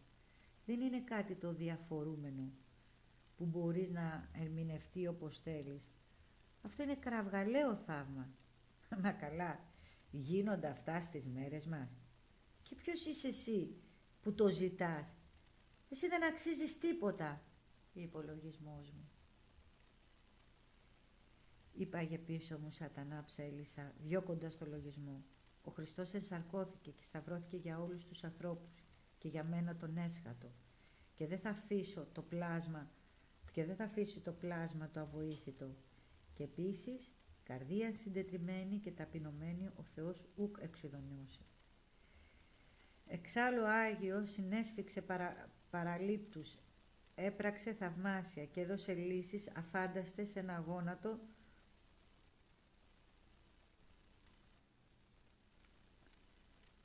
Λοιπόν, ανέσυρα από τη μνήμη μου και το συμβολισμό της τελευταίας πρότασης του γιατρού. Το δρόμο τον ξέρεις. Έχεις δίκιο γιατρέ, τον ξέρω το δρόμο. Όχι όμως αυτόν που μου δείχνεις εσύ. Αλλά αυτόν που φωτίζει η πίστη στον έναν και αληθινό Θεό και στους Αγίους Του τους ανάργυρους ιατρούς ψυχών και σωμάτων. Θαυμαστός ο Θεός εν της Αγίας αυτού και βρέθηκα την Πέμπτη πριν το Βαΐον εμπρόστεν στον Ιερό Σκηνόμα του Αγίου Εφρέμ να ψάλω την παράκληση και τους χαιρετισμούς του. Η καρδιά μου είχε ζεσταθεί από τη βεβαιότητα πως ο Άγιος ήταν εκεί ολοζώντανος και αφού κραζόταν τον πόνο μου με αγάπη και κατανόηση. Όλοι οι έσον ζέσιν πήρωναν και τα δάκρυά μου, που πλέον πονταμιδών κυλούσαν. Άγιε Εφραίμ, σε ευχαριστώ που με δέχτηκες να προσπεράσω στα Άγια Σου λείψανα. Εγώ, ο βδελυρός και συχαμένος, και δεν με απέδιωξες ως μου η άρμοζε. Νυχθημερινών, Άγιε, τρέχεις ακάματος, να προσδράμεις τις παρακλήσεις των, των και των ανθρώπων, με αληθινή ενδία και τεράστια προβλήματα, στα οποία όμως στέκουν αγκογίστος και παλικαρίσια. Άγιε, ο οποίος στην παραμικρή δυσκολία, α, εν αντίθεση με μένα Άγιε, που εγώ σαν αμαρτωλός στην παραμικρή δυσκολία παρετούμε και δηλιάζω. Δεν αξίζω, Άγιε, να με βοηθήσεις. Δεν αξίζω να ασχοληθείς μαζί μου και να αφιερώσεις χρόνο από τα πολύ σημαντικά που καταπιάνεσαι. Και αν γίνει κάτι τέτοιο, σίγουρα θα γίνει από τη μεγάλη σου αγάπη ή επειδή θα λυπηθείς στην οικογένειά μου, που μόνο από μένα περιμένει. Μόνον, Άγιε. Αν θελήσεις να ασχοληθείς μαζί μου, αν γίνεται να πέσω για ύπνο και το σηκώθω να είμαι καλά, γιατί φοβάμαι πως αν με εμφανιστείς σίγουρα θα είσαι θυμωμένο, πως αν με εμφανιστείς Σίγουρα θα είσαι θυμωμένος με τις αμαρτίες μου και μπορεί να τρομάξω.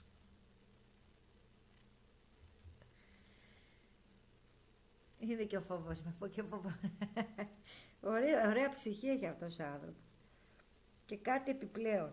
Αν λέμε, αν με επισκεφθείς αφού θα έρθεις που θα έρθεις, είναι αγνή προσευχή όμως, ε. Αφού θα έρθεις που θα έρθεις, δεν μου φτιάχνεις και το αριστερό. Ε, φτιάξε μου και το δεξί, φτιάξε μου το δεξί. Δεν είναι τίποτα για σένα. Να σας πω κάτι όμως, βλέπουμε εδώ ότι έχει αγνή... Ε, τα λέει τόσο αγνά ο καλούλης μου αυτός ο κύριος. Σαν τα παιδιά προσεύχεται, είδες έτσι, τα παιδιά αγνά προσεύχονται. Αφού θα φτάσεις, φτιάξε μου τελείως.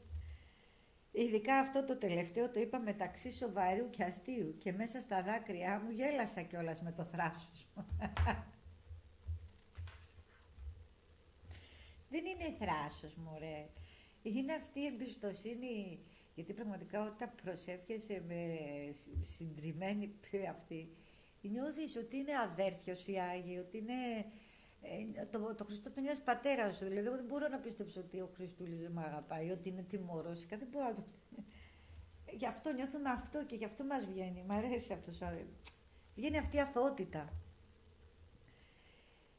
Έφυγα το βραδάκι της Πέμπτης αλαφρωμένος που άφησα τα προβλήματά μου στα πόδια του Αγίου, αλαφρωμένος, ε, Όμως μέχρι την Κυριακή των Βαΐων το πόδι μου χειροτέρεψε. Δεν μπορούσα ούτε να το οδηγήσω ούτε να περπατήσω. Δεν μπορεί, κάτι δεν κάνω καλά υποψιάτικα, πως φταίει, που δεν τήρησα σωστά και στο ακέραιο την νηστεία της Μεγάλης Τετάρτης, της Μεγάλης Τεσσαρακοστής. Παραμέχνει και εκείνες τις Άγιες ημέρες έκανα κάποιες παρασπονδίες.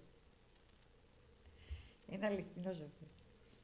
Ήμαρτον Άγιε, κάνε με καλά και εγώ δεν θα φάω λάδι μεγάλη.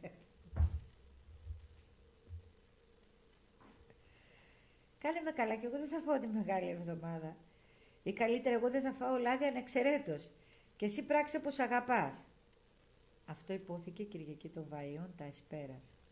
Τη Μεγάλη Δευτέρα χαράματα σηκώνομαι πονώντας, αλλά με μια λαχτάρα να φάω ένα γιαουρτάκι που είχα ανοιχτό. Θα χαλάσεις, Άγιε. Μόνο αυτό θα φάω. Και ξεκινάω την νηστεία, είπα αφού σύρθηκα στο ψυγείο όπου ολοκλήρωσα την άνιαρη πράξη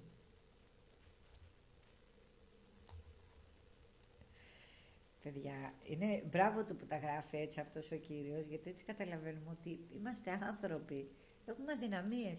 Αλλά ο Χριστούλης μας αγαπά και τα καταλαβαίνει αυτά ρε παιδιά. Ξανά πέσα στο κρεβάτι διότι δεν σκόπευα λόγω του πόνου να εργαστώ εκείνες τις ημέρες. Ώρα έξι πριν το μεσημέρι. Σε δύο ώρες ανοίγω τα μάτια μου και σηκώνομαι από το κρεβάτι. Αλλά πολύ ευκολότερα από ό,τι συνήθως. Κάθισε πάλι και ξυπνά καλά σωτήρι και με, με, κάθισε πάλι και ξύπνα καλά σωτήρι και μετά σήκω. Ξανασηκώνομαι, συναισθάνομαι πως δεν πονούσα. Έκανα μερικά βήματα, βαθιά καθίσματα, κινήσεις, δύσκολες, τίποτα, κανένας πόνος. Είχε εξαφανιστεί εντελώς. Πλημμυρισμένος από χαρά και δάκρυα στα μάτια, ξύπνησα τα παιδιά, τους εξήγησα και πέσαμε στα γόνατα μπροστά στην εικόνα της Παναγίας και του Άγιου Εφραίμ, αναπέμπτοντας δοξολογίες και ολόθρομες ευχαριστίες. Την ίδια ημέρα πήγα για δουλειά, όπου εργάστηκα τόσο σκληρά όσο δεν το είχα κάνει τα προηγούμενα δύο χρόνια. Ομοίως, από το Πάσχα του 2013 η εργασία συνεχίζεται σκληρή ως σήμερα τέλη Ιουλίου, δίχως την παραμικρή ενόχληση. Αντιλαμβάνομαι πως ο Άγιος Εφρέμ ασχολήθηκε με μένα τον ανάξιο για να διδάξει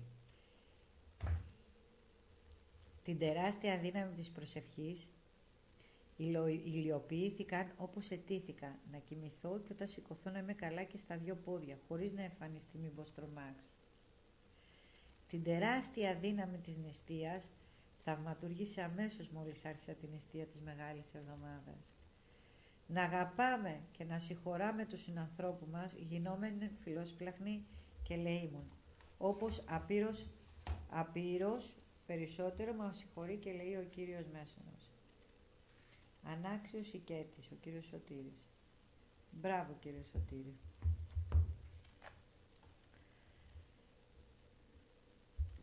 Και τα είπε τόσο απλά, γιατί έτσι είναι. Είμαστε έτσι και εγώ έτσι, δηλαδή, λέει ο πατέρ Παΐσιος, θα έχετε, λέει, αδιάκοπτο διάλογο με το Θεό. Ε, θα λέτε συνέχεια την ευκούλα μέσα σας. Και ας είμαστε στο δρόμο και ας νευριάζουμε και ας κάνουμε μια δουλειά που μπορεί να νευριάζουμε και ας κουραζόμαστε και ας αγκομ... Δηλαδή, είμαστε άνθρωποι και έχουμε αδυναμίες. Δεν θα σε μάλλον, εντάξει, είδε σηκώθηκε, έφεγε το γιαουρτάκι του και ξεκίνησε την νηστεία τη Μεγάλη Δευτέρα. Και μέχρι το μεσημέρι ήταν καλά, δηλαδή η δύναμη της προσευχής, όταν προσεύχεσαι με πίστη,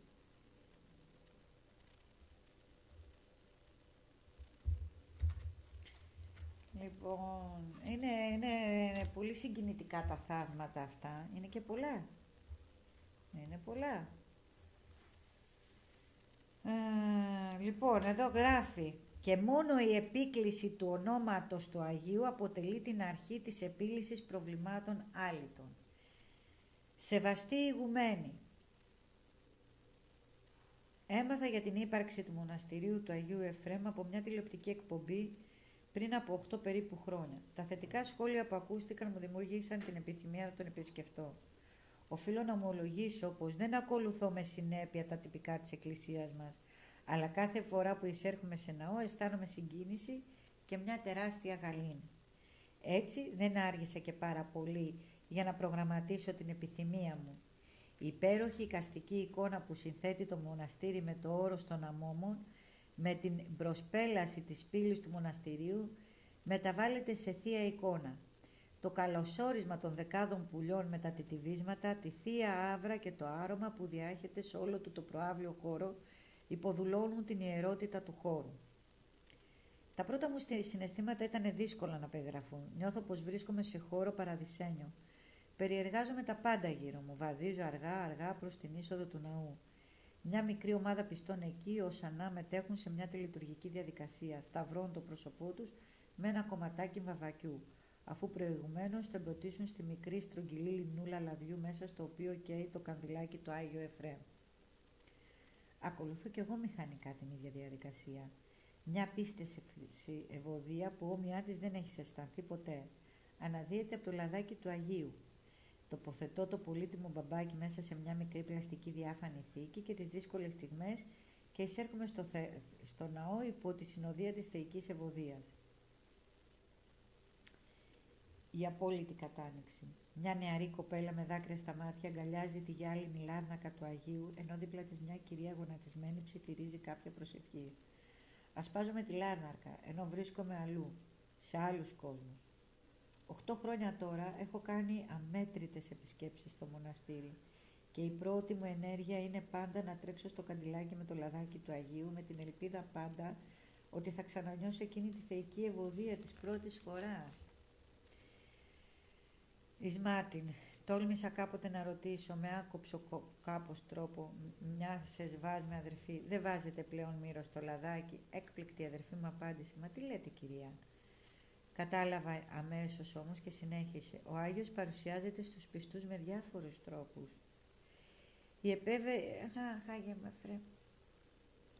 Η επιβεβαίωση αυτού ήρθε λίγο αργότερα μέσα από τα βιβλία και τα θαύματα του Άγιου Εφρέμ. Κάποια κυρία που πρωτοεπισκέφτηκα τη Μονή ένιωσε την απίστευτη ευωδία του Άγιου Εφρέμ για πρώτη και μοναδική φορά. Μετά από αρκετές επισκέψεις έθεσε το ερώτημα «Γιατί μόνο την πρώτη φορά» Η απάντηση που έλαβε ήταν το καλωσόρισμα του Αγίου. 15 μήνες μετά και έπειτα από κοπκαπιαστική εργασία με υπερβολικά βάρη ένιωσα στο αριστερό μου χέρι στο ύψος του καρπού φρικτούς πόνους. Η, η καταφυγή μου στο γειτονικό ασκληπιό της βούλας ήταν αναπόφευκτη. Ακτινογραφίες, πολλά χάπια, παυσίπονα, ανάρθηκας και αποτέλεσμα μηδέν. Ξανά πάλι εξετάσεις, η ερχείρηση ήταν αναπόφευκτη, δώσανε ημερομηνία σε 20 μέρες. Για μένα ένας αιώνας. Ο πόνος ήταν ισχυρότατος και διαρκής. Αποτάνθηκα στο λαϊκό νοσοκομείο. Το μαχαίρι η μόνη λύση. Ένα γαγάλιο, λέει, μπλόκαρε στον Εύρο και προκαλούσε το πρόβλημα. Προ 30 ετών στο στρατό είχα αποστεί συντριπτικό κάταγμα κερκίδας και αυλώνει στο αριστερό χέρι.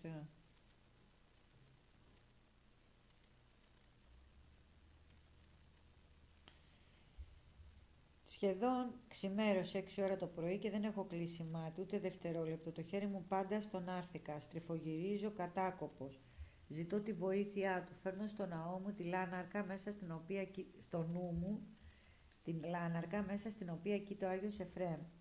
Αποθέτω νεωρά το χέρι μου πάνω σε αυτήν και στέλνω το μήνυμά μου. Άγιε μου, σε κετεύω, κουράστηκα, δεν αντέχω άλλο, θέλω να κοιμηθώ. Δεν θυμάμαι τη συνέχεια, ξύπνησα κατά τις μία το μεσημέρι, ο πόνος εξακολουθούσε αλλά ήταν υπιότερος. Προς μεγάλη μου έκπληξη όμως διαπίστωσα πως όταν το μπράτσο μου και ο βραχίωνα σχημάτιζαν ορθή γωνία, πόνος δεν υπήρχε. Την επόμενη μέρα καλύτερα και σε μια εβδομάδα ο πόνος άνοιγε οριστικά στο παρελθόν.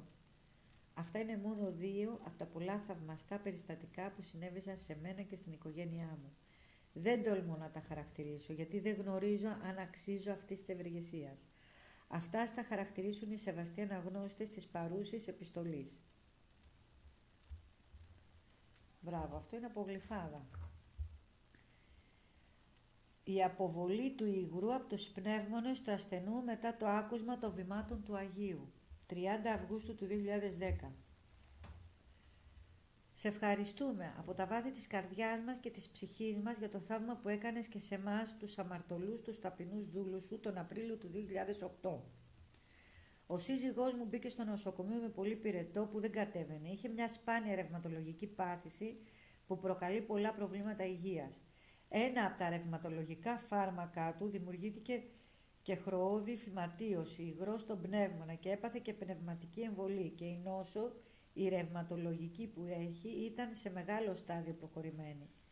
Το ένα φάρμακο έκανε καλό στη μια πάθηση και κακό στην άλλη. Και έχει και την τάση για εμβολές. Στο νοσοκομείο μείναμε δυόμισι μήνες περίπου. Η κατάστασή του ήταν πολύ σοβαρή. Ο διευθυντής είχε πει ότι υπήρχε περίπτωση να τον χάσουμε. Κόντεψα να τρελαθώ. Τα είχα χαμένα. Η καρδιά μου πήγαινε να σπάσει. Μια φίλη μου μου είπε να του πω να εξομολογηθεί και να κοινωνήσει, το οποίο δέχτηκε και έκανε, αφού αυτό το κάναμε και πριν. Η κατάστασή του ήταν σταθερή και λίγο καλύτερη. Γιατί και η εξομολόγηση και η Θεία Κοινωνία είναι το καλύτερο φάρμακο. Όμως ακόμα η κατάσταση ήταν κρίσιμη. Στο διπλανό δωμάτιο από εμάς ήταν μια αποκλειστική και, με, και πρόσεχε μια γιαγιά. Εμείς ήμασταν μόνοι μας στο δωμάτιο. Γνωριστήκαμε και με έκανε δώρο το βιβλίο του Άγιο Εφρέμ με τη βιογραφία του και τα θαύματά του. Όταν το διάβαζα, γαλήνευε η ψυχή μου και τον παρακαλούσα να έρθει και σε εμάς του αμαρτωλού να κάνει καλά το σύζυγό μου. Και να πάμε γρήγορα στο σπίτι μας μαζί. Κοντά στο παιδί μας. Αχ, θα συγκινηθώ. που το είχαν αφήσει σπίτι τους. Λοιπόν, ο πόνος μου ήταν διπλός και μεγάλος. Τους παρακαλούσα και τον Άγιο Εφραίμ και την Παναγίτσα να κάνουν γρήγορα καλά το σύζυγό μου να μην φύγει από τη ζωή και να προσέχει και το παιδί μου που ήταν με τους γονείς μου. Αφού ήμουν εγώ μακριά του, δεν θα άντεχα να γίνει κάποιο κακό ούτε να τον χάσω. Θα τρελαινόμουν. Ο Θεός μας έδινε δύναμη σε όλους. Ένα βράδυ, καθώς διάβαζα πάλι το βιβλίο και ενώ ο σύζυγός μου κοιμότανε γιατί μόλις είχε πέσει, Μόλις του είχε πέσει κάπως ο πυρετός, με τον, με τον όρκο που του είχαν βάλει, με το τι λόγο μωρέ, με τον, παιδιά επειδή είναι ένα αυτό βλέπω τα πράγματα φωλά. Τα δάκρυά μου είναι καυτά, κάτσε να... Λοιπόν, ε, ένα βράδυ καθώς διάβαζα πάλι το βιβλίο και ενώ ο σύζυγός μου κοιμόταν γιατί μόλις είχε πέσει, Μόλις του είχε πέσει κάπως ο πυρετός με τον ορό που του είχαν βάλει, εγώ άκουγα βήματα στο μπαλκόνι έξω από το δωμάτιο που ήμασταν. Βγήκα να δω ποιος είναι, αλλά δεν ήταν κανένας. Τότε ξαναμπήκα στο δωμάτιο και συνέχιζα να διαβάζω το βιβλίο. Ξανακουγόντουσαν βήματα και ξαναβγήκα στο μπαλκόνι, αλλά και πάλι δεν ήταν κανένας. Ξύπνησα το σύζυγό μου να μου κάνει λίγη παρέα κρατώντας το βιβλίο του Άγιο Εφρέμ στα χέρια μου. Τότε ο σύζυγός μου μου είπε ότι του μυρίζει κάτι σαν μύρο και με ρώτησε τι κρατάω στα χέρια μου; Μόλις του είπα, ακούσαμε τα βήματα από τον μπαλκόνι να έρχονται μέσα στο δωμάτιο, να περνάνε δίπλα μας και μετά ένα θόρυβο δυνατό, σαν να βράζει υγρό, σαν να βγάζει υγρό. Καταλάβαμε αμέσως ότι ήταν... Να... Κάτσε ρε παιδιά, τι έγινε. Ακούσαμε τα βήματα από τον μπαλκόνι να έρχεται μέσα στο δωμάτιο, να, περνάμε, να περνάνε δίπλα μας και μετά ένα θόρυβο δυνατό, σαν να βράζει υγρό. Καταλάβαμε αμέσως ότι ήταν Άγιος Εφρέμ, ο Παντοδύναμος. Τον ευχαριστούσαμε, κλαίγοντας και κάνοντας το σταυρό μας που ήρθε σε εμάς. Την άλλη μέρα το είπα στην αποκλειστική και μου είπε: Ο άντρας θα γίνει καλά. Και αυτός ο θόρυβος, σαν να βράζει υγρό, είναι που θα φύγει το υγρό από τον πνεύμονά του. Και έτσι έγινε. Μετά από κάποιες ώρες, το σύζυγό μου τον έπιασε δυνατός πόνος στα πνευμόνια και φοβηθήκαμε. Οι γιατροί μήπως έπαθε πάλι πνευμονική εμβολή. Του κάνανε ακτινογραφία και είδανε πως πόναγε επειδή έκανε σύσπαση ο πνεύμονας γιατί άρχισε να φεύγει το υγρό. Μέρα με τη μέρα γινόταν καλύτερα. Ξαναεξομολογήθηκε, κοινώνησε πάλι και πάλι ως έγινε τελείως καλά και βγήκαμε τον Ιούλιο από το νοσοκομείο. Ήρθαμε στο σπίτι μας, κοντά στο παιδί μας, που το υπεραγαπάμε και που παρακαλάω και γι' αυτό να το προστατεύει ο Άγιος όπως και τον άντρα μου όπως και όλο τον κόσμο. Η ρευματολογική νόσος υπάρχει, είναι αυτόνωση και δεν υπάρχει θεραπεία. Μόνο να την κρατήσουμε στάσιμη και πρέπει να προσέχεις τα πάντα. Ο όμως, ο Άγιος Εφρέμ, ο Αγιούλης μας και η Παναγίτσα μας δεν μας αφήνουν ποτέ, ούτε μας ούτε κανένα. Άγιε μας, σε ευχαριστούμε και σε δοξάζουμε Άγιε Εφρέμ που, που ήρθες σε εμάς τους ανάξιους δούλους σου.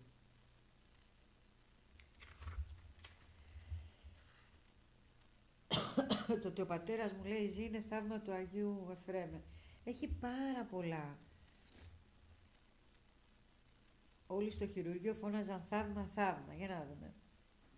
11 Σεπτεμβρίου του 2018. Η ώρα είναι 7 και 37.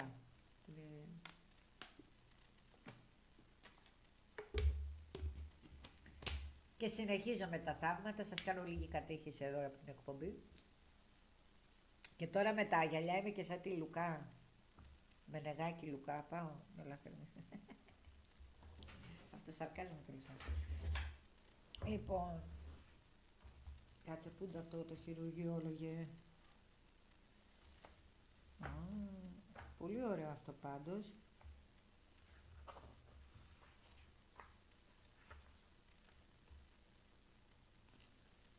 Πού είναι αυτό.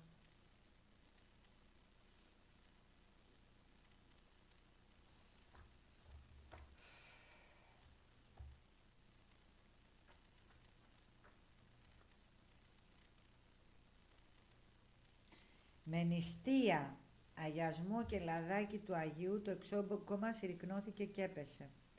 17 Φεβρουαρίου του 2018, το 2013. Αγαπημένη μου Άγιε Εφρέμ, με πολύ συγκίνηση γράφω το γράμμα αυτό για να σε ευχαριστήσω για το μεγάλο θαύμα που έκανες και σε μένα την αμαρτωλή. Πριν πολλά χρόνια, το 2000, είχα διαγκώσει τη γλώσσα μου με αποτέλεσμα, ναι,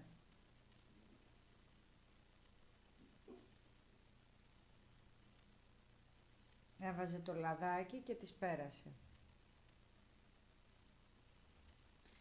Αυτό με το χειρουργείο θέλω να βρω τώρα που λέει ότι όλοι χειροκροτούσανε.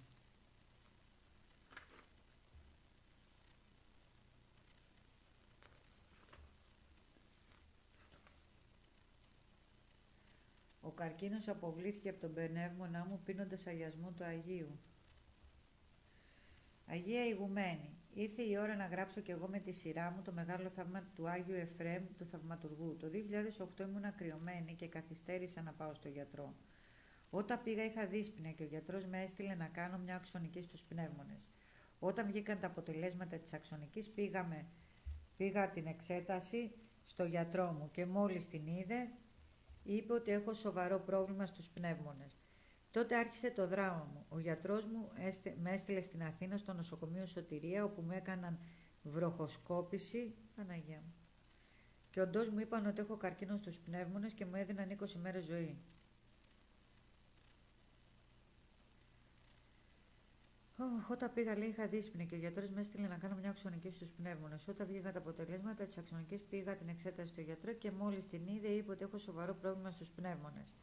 Της δώσαν 20 μέρες ζωή. Όπως καταλαβαίνετε, τρελάθηκα. Τότε ο άντρας μου με πήρε και με πήγε στη Νέα Μάκρη στον Άγιο Εφρέμ και προσκυνήσαμε με βλάβια και τον παρακαλέσαμε να κάνει καλά και μένανε. Γυρίσαμε στο σπίτι μας το βράδυ. Το πρωί σηκώθηκα με δύσπνοια και με πόνο στο στήθος, ο οποίος έφτανε μέχρι την πλάτη. Ρε εσύ, κι εγώ κουπονάκι.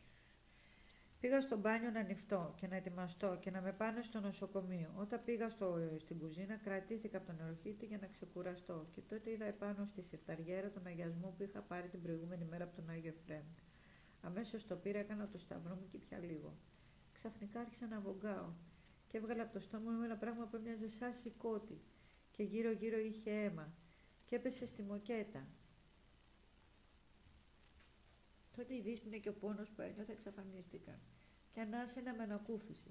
Το πρώτο πράγμα που σκέφτηκα ήταν ότι βγήκε ο καρκίνος που είχα. Έπειτα έκανα πάλι το σταυρό μου και ξανά πια αγιασμό. Έκανα αξονική να την πάω στο γιατρό που μου παρακολουθούσε και όταν την κοίταξε είπε ότι ο καρκίνος, ο όγκος που είχα, είχε εξαφανιστεί. Από τότε κάνω συνέχεια αξονικές και άλλες εξετάσεις και βγαίνουν καθαρές. Από εκείνη τη μέρα δοξάζω τον Άγιο που μου έδωσε τόσο γρήγορα την υγεία μου. Παιδιά είναι τόσο καλός. Η μανούλα μου έκανε τρία χειρουργία στο, για καρκίνο και στο τέταρτο χειρουργείο είχαν βρει τον όγκο εδώ στο πνεύμονα και ήταν να την ανοίξουν, να της το βγάλουν. Τον είδε στον ύπνο, τον είδε, τον είδε ζωντανό μέσα στο δωμάτιό της το βράδυ. Και της κάνει αργυρό, τι φοβάσαι, δεν έχεις τίποτα θα πας και δεν έχεις τίποτα. Και πραγματικά μαμά μου πήγε στο νοσοκομείο και δεν είχε τίποτα. Και βέβαια έχουμε δει και πάρα πολλά, πολλά, πολλά, πολλά μικρά θαύματα. Και το γιο μου, εκείνος μου το βοήθησε. Είναι καλός ο Άγιος αυτός. Πρέπει να γράψω κι εγώ εδώ πέρα τις δικές μου μαρτυρίες. Θέλω να βρω αυτό που λέω ότι στο χειρουργείο το χάσα.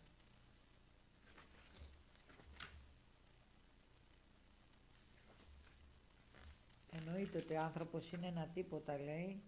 Χρυσή και κόκκινη είδα τη λάρνακα του Αγίου στο πρώτο προσκύνημα. Εγώ τώρα τι είδα που τον είδα έτσι στεναχωρημένο; Παιδιά, τον είδα στεναχωρημένο. Γιατί, γιατί είμαι εγώ αμαρτωλή; Μήπως γι' αυτό. Τον είδα σαν να είναι στεναχωρημένος. Σαν να μην είναι χαρούμενος.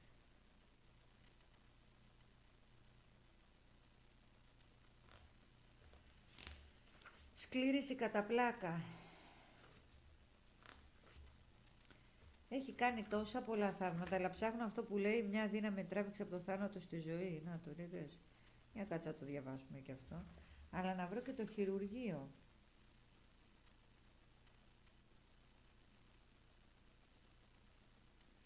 Να και αυτή που ξεπέρασε την κατάθλιψη. Α, ναι, ο, ο, ο Άγιος λέει αραγωγός, ο Άγιος αρρωγός στην προσπάθεια γονέων να προστατεύσουν την υγεία των παιδιών τους. Βέβαια. Εμένα, το παιδάκι μου. Να το, δύο φορές λέει ο Άγιος επισκέφτηκε τον πατέρα μου στην εντατική στο νοσοκομείο Τρικάλα. Τη μαμά μου. Μεσοπεθαμένος στην εντατική είδε τον Άγιο και τον έκανε τελείως καλά. Σεβαστή γερόντισα και αδερφές της Ιεράς Μονή, θέλω να σας διηγηθώ κι εγώ ως ελάχιστος ένα θαύμα του Άγιου Εφραίμ που έζησα με τα ίδια μου τα μάτια. Τα, τα μάτια τα οποία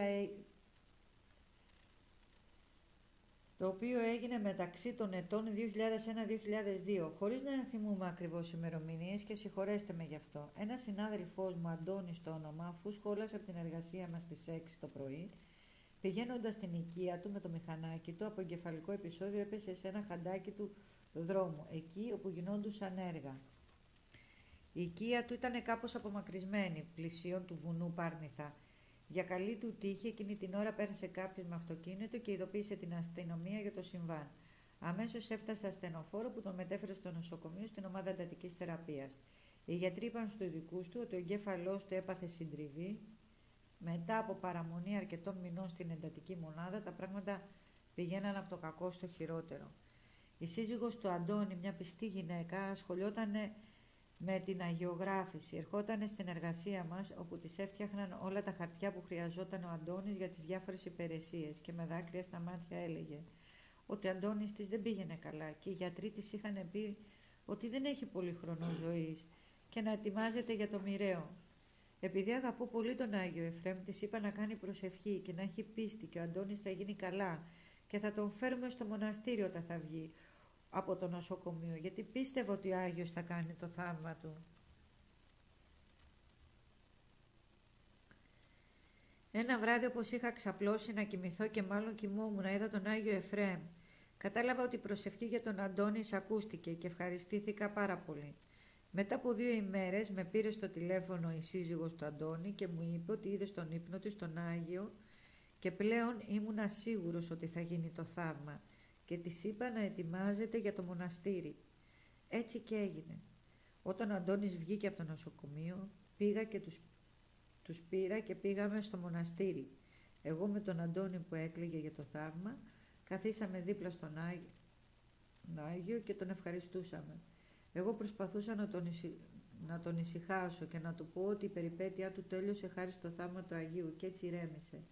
Εδώ να σας αναφέρω ότι ο Αντώνης, ενώ ήταν στην εντατική μονάδα μεσοπεθαμένος, είδε τον Άγιο που του είπε ότι θα τον έκανε τελείως καλά. Η σύζυγος του Αντώνη δεν ήταν μαζί μας και τον ρώτησα που ήταν και που μου είπε ότι θα ερχόταν σε λίγο. Ξαφνικά ενώ καθόμασταν ήρεμοι δίπλα στον Άγιο, βλέπω τη σύζυγο να προχωράει στα γόνατα που ήταν αιματωμένα και να έρχεται στον Άγιο με δάκρυα στα μάτια να προσκυνάει. Όπως καταλαβαίνετε, για άλλη μια φορά ο Αντώνης σε αυτή τη σκηνή ξέσπασε με δάκρυ και λιγμούς. Και όπως είναι φυσικό δεν άντεξα κι εγώ και κλάψαμε όλοι μαζί από χαρά και ευχαρίστηση για το θαύμα του Αγίου μας. Θα μου μείνει χαραγμένη στο μυαλό μου μέχρι την τελευταία ημέρα της ζωής μου και θα το λέω σε όλο τον κόσμο για το μεγάλο θαύμα του Αγίου μας. Η σύζυγος του Αντώνη, έξω ακριβώς από την πόρτα της οικίας τους, έχει γεωγραφίσει τον Άγιο Εφραίμ, σε όλο τον τοίχο, και όποιος πηγαίνει στο σπίτι βλέπει τον Άγιο και αισθάνεται μεγάλη ψυχική ικανοποίηση βλέποντας την Αγία του μορφή. Σε ευχαριστώ Άγιέ μου για τη βοήθεια που μας δίνεις καθημερινά. Μεγάλο και ευλογημένο το όνομά σου, στους αιώνες των αιώνων.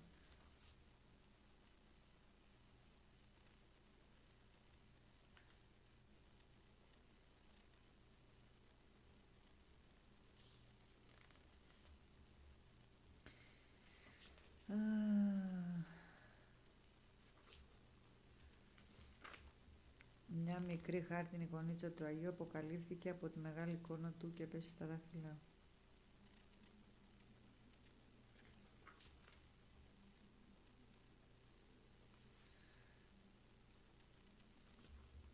Έχει πολύ ωραία θαύματα.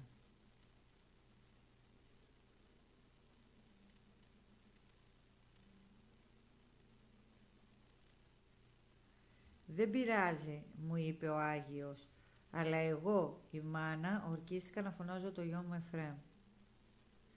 «Αγαπητέ μου Άγιε Εφρέμ, πριν σε ευχαριστήσω εσένα και την Παναγία, θέλω από τα βάθη της καρδιάς μου να με συγχωρέσεις που άργησα να καταθέσω κι εγώ το θαύμα μου που κάνατε σε μένα, εσύ και η Παναγιά το 1999.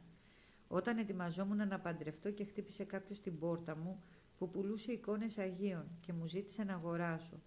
Του είπα ότι έχω έξοδα και δεν μπορώ αυτή τη στιγμή. Τότε μου ζήτησε να πάρω τον Άγιο Εφρέμ και να μου φέρει ευτυχία στο νέο ξεκίνημα της ζωής μου. Μου είπε και ότι βοηθάει τις γυναίκες να αποκτήσουν παιδιά. Την αγόρασα και είπα χωρίς να ξέρω τι μου επιφυλάσσει το μέλλον, ότι αν μείνω έγκυος και είναι αγόρι θα πάρει το όνομά σου.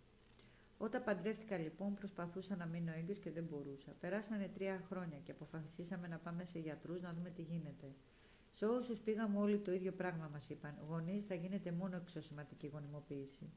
Έβαλα τα κλάματα. Δεν ήθελα να ακούσω για εξωσωματική. Φοβόμουν τα φάρμακα, την αποτυχία, φοβόμουν τα πάντα. Ήμουνα κάθετη σε αυτό. Άρχισα να κλαίω κρυφά από όλους, μέρα νύχτα, και να προσεύχομαι. Διαρκώς.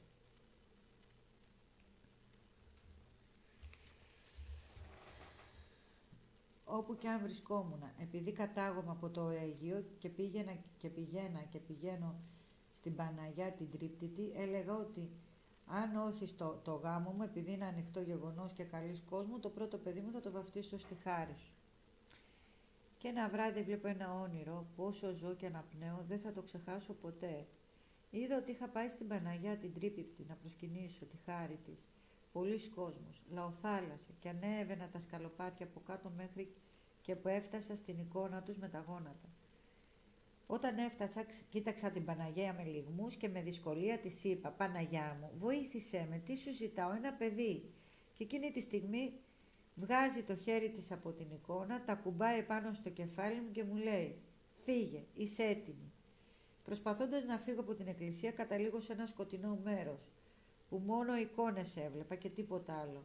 Πού βρίσκομαι; Και έψαχνα να βρω κάποιον να ρωτήσω και συνάντησα έναν άγνωστο, δεν τον ήξερα, που ήταν σαν παπάς, αλλά νέος και του λέω «Κύριε, θέλω να φύγω και δεν ξέρω από πού, τι είναι εδώ» «Μη φοβάσαι», είπε.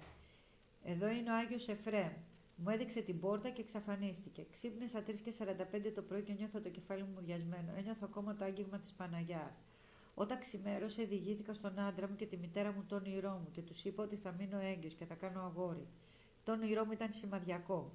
Πράγματι, δεν πέρασε μήνας και είχα καθυστέρηση. Όταν πήγα στο γιατρό και του είπα ότι είμαι έγκυος, απόρρισε πως είναι δυνατόν να συμβεί αφού δεν μπορούσε να γίνει φυσιολογικά. Και του απάντησα ότι άλλοι αποφασίζουν τι μπορεί και τι δεν μπορεί να γίνει. Όταν ήρθε η μέρα να δει ο γιατρός το φίλο του παιδιού, του είπα: Εγώ ξέρω ότι έχω αγόρι και είμαι σίγουρη. Εκείνος γέλασε. Ακριβώς έτσι μου είπε: Αγόρι είναι. Ο γιος μου γεννήθηκε 16 Σεπτεμβρίου του 2002 και ήταν εκείνη η μέρα η πιο ευτυχισμένη της ζωής μου. Όταν ήταν 7 μηνών τον πήγα στον Άγιο Εφρέμ στη Νέα Μάκρη για να τον ευχαριστήσω πάρα πολύ για το δώρο που μου χάρισε, αφού βαφτίστηκε στην Παναγιά την Τρίπτητη και τον έβγαλα Εφρέμ Νικόλαο. Νικόλαο λένε τον πεθερό μου. Είχα φασαρίες για, γιατί δεν έβαλα πρώτο τον Νικόλαο και δεύτερο τον Εφρέμ.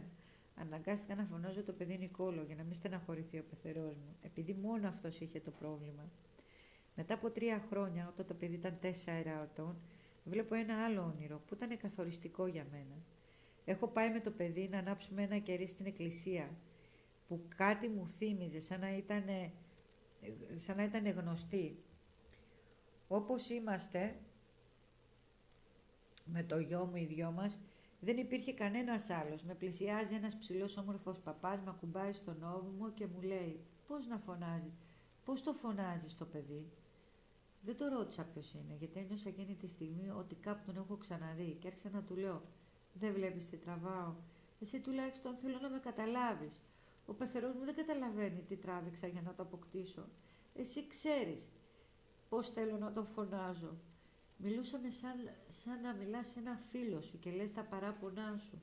Δεν ένιωσα να μιλάω με κάποιον άγνωστο. Και αφού του είπα αυτά τα παράπονά μου, με χτύπησε απαλά στην πλάτη και μου είπε χαμογελώντας «Δεν πειράζει». Έπειτα χάιδεψε το γιο μου στο κεφάλι και εξαφανίστηκε.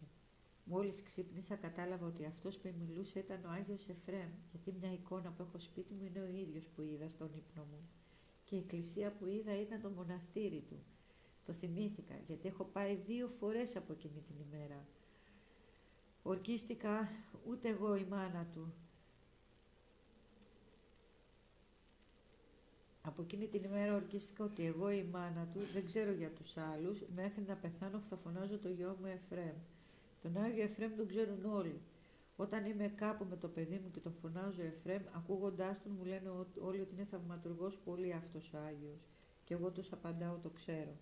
Θέλω να ευχαριστήσω με όλη τη δύναμη της ψυχής μου την Παναγία και τον Άγιο Εφρέμ που μου χάρισε αυτό τον άγγελο και με έκανε την πιο ευτυχισμένη μανούλα του κόσμου. Σε ευχαριστώ Παναγιά μου. Σε ευχαριστώ Άγιε μου. Τι ωραία. Γιατί λέει δεν με ξέρεις, είμαι Άγιος Εφραίμ, να με βρεις. Η Ασία Ολικής Αλοποκίας, μόνο με το λαδάκι και το άγιασμα του Άγιο Εφραίμ. Θέλω να βρω αυτό με το που είδαμε, το πώς το χάσα αυτό, όλοι χειροκροτούσαν στο χειρουργείο. Μη φοβάσαι, λέει παιδί μου, εγώ θα σε βοηθήσω, σου βρω τον καλύτερο γιατρό, τον ίδιο δηλαδή. Αχ, Παναγιά μου.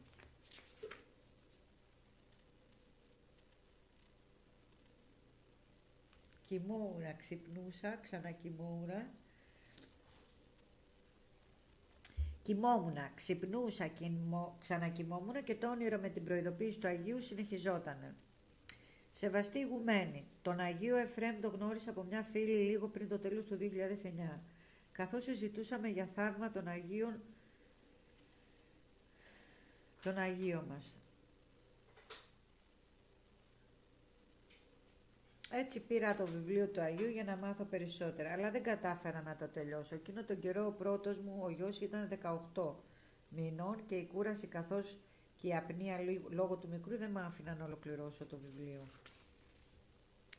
Ένα βράδυ λίγο μετά τα Χριστούγεννα του 9, καθώς πήγαινα για ύπνο, πολύ κουρασμένη, με δύναμη σαν να με έσπροχνε να συνεχίσω το διάβασμα του βιβλίου που είχα στο κομμωδίνο μου, διάβασα λοιπόν πως ο Άγιος γιορτάζει 3 Ιανουαρίου, στην έβρεση των Λιψάνων του. Αμέσως σκέφτηκα πως πρέπει να πάμε. Την επόμενη το συζήτησα με τον άντρα μου και, και κανονίσαμε να πάμε με το μικρό μας. Την πρωτοχρονιά ξημερωνώμαντας παραμονή της γιορτής του, ήρθε ο Άγιος στον ύπνο μου. Είδα πως κατέβαινα σκαλιά για να πάω στον τάφο του, όπου βρισκόταν ο Λόσομος να κοιμάται. Άρχισε να κουνάει ελαφρά τα χέρια του και σιγά σιγά ξύπνησε. Δίπλα του φρουρός ακούμπητος μια μοναχή που δεν είδα το πρόσωπό της. Ο Άγιος με πλησίασε και μου έδωσε ένα μεγάλο βυζαντινό βιβλίο, όπου διάβαζα τη ζωή του δεύτερου αγέννητου τότε παιδί μου, παιδιού μου. Δεν θυμάμαι τίποτα από ό,τι διάβαζα. Γιατί εκείνο το βράδυ ξύπνησα τρεις φορές επειδή ήταν ανήσυχος ο μικρός. Κοιμόμουνα και το όνειρο συνεχιζότανε. Κάποια στιγμή, διαβάζοντας το βιβλίο στο όνειρο, φοβήθηκα και ανησύχησα με κάτι που έπαθε το παιδί, αλλά στη συνέχεια ανακουφίστηκα γιατί όλα θα πηγαίναν καλά. Την επόμενη μέρα ήμουν σίγουρη πως αν ο Θεός μου χάριζε δεύτερο παιδί, κάτι θα έβαζε σε κίνδυνο, αλλά ο Άγιος ήταν δίπλα του. Εν τω μεταξύ ο μεγάλος μου ο γιος, από εκείνη τη νύχτα που είδα το όνειρο, δεν ξαναξύπνησε και έφτιαξε ο ύπνος του. Όταν επισκεφτήκαμε το μοναστήρι 3 Γενάρη, παρακάλεσα τον Άγιο να προλάβουμε να κοινωνήσω το παιδί μου. Αν και φτάσω αργά και ο κόσμος ήταν πολύ σε χρόνο μηδέν, φτάσαμε στο ιερό και το παιδί ήταν το τελευταίο άτομο που κοινώνησε ο ιερέας. Μετά από λίγους μήνες ξαναπισκεφτήκαμε τον άντρα μου το μοναστήρι, όπου και οι δυο δεχτήκαμε τη Θεία Ευωδία του Αγίου. Ήθελα τόσο να πάω στην Αγρυπνία στη γιορτή του 5 Μαΐου, αλλά δεν ήξερα πώς θα τα καταφέρω. Ο άντρας μου έπρεπε να μείνει με το παιδί και εγώ δεν οδηγώ. Λίγες μέρες πριν τη γιορτή του, ενώ σκεφτόμουν πώς θα τα καταφέρω, ένιωσα έντονα την ευωδία του Αγίου και σε λίγη ώρα είδα τυχαία ένα πρακτορείο που διαργανώνανε προσκύνηματα του Αγίου, την παραμονή της γιορτής στην Αγρυπνία. Έτσι τα κατάφερα και πήγα. Στις 17 Ιανουαρίου του 12 έφερα στον κόσμο τον Εφρέμ με τη βοήθεια του Άγιου μας. Όμως, όταν ήταν 8 μηνών εμφανίστηκε κάποια δερματικά προβλήματα στο προσωπάκι του, κάτι σαν ελιές, τα οποία ήταν σαν ακανόνιστα σχήματα που όλο και μεγάλωναν.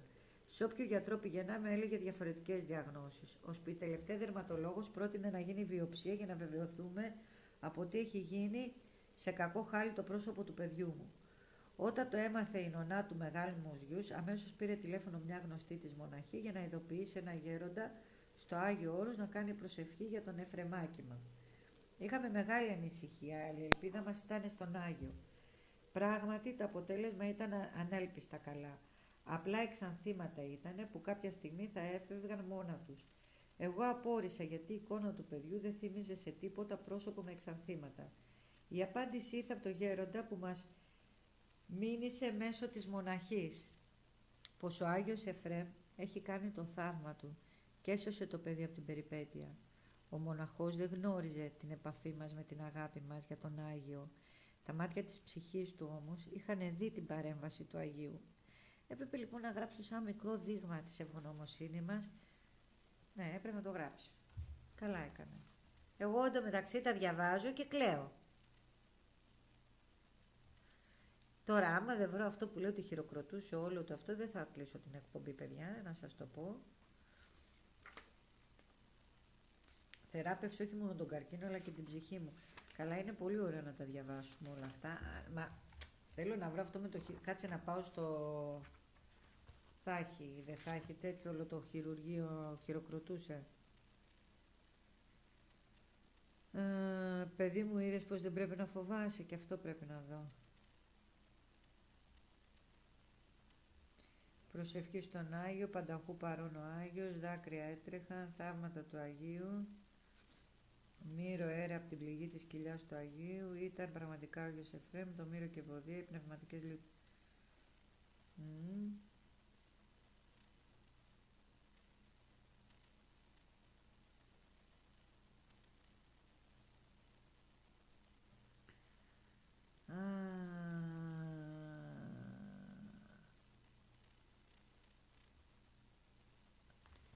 Τώρα αυτό τώρα με το χειρουργείο δεν πρέπει να το βρω εδώ. Ραγδαία ανόητο, είναι κακό το θαύμα, ετένοντες με χίλιους τρόπους.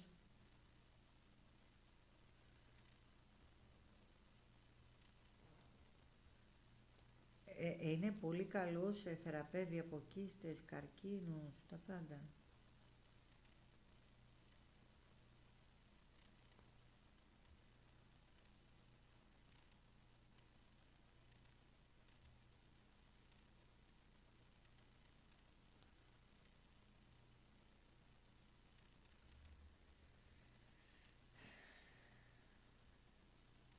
Τώρα μέχρι να το βρω δεν θα, δεν θα φύγω.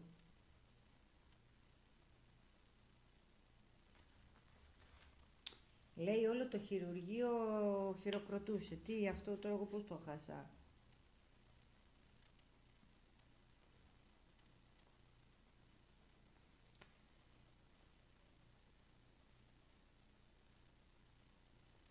Καλά, έχει πάρα πολλά. Ολόκληρη είναι το γιος...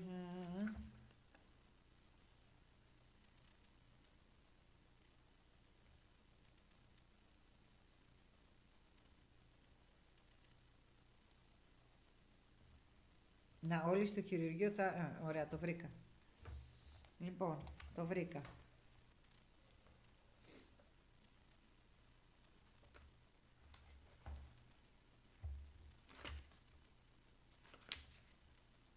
Λοιπόν, όλοι στο χειρουργείο φώναζαν θαύμα. 11 Σεπτεμβρίου του 10. Σεβαστή Αγία Ηγουμένη. Φιλό τη δεξιά σας.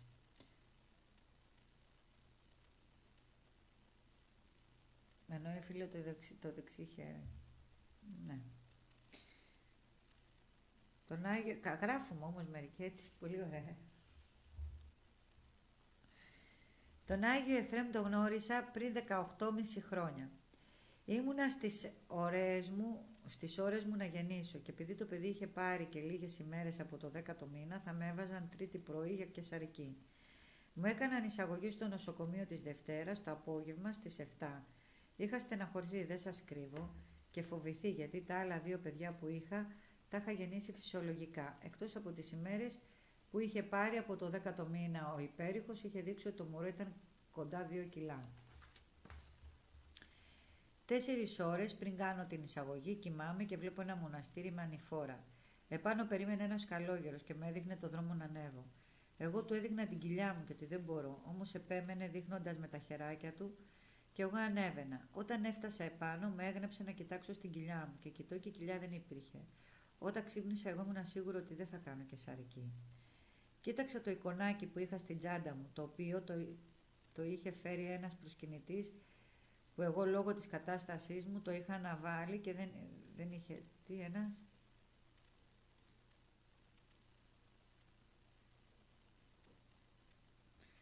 Α, δεν είχε πάει στον Άγιο Εφρέμ.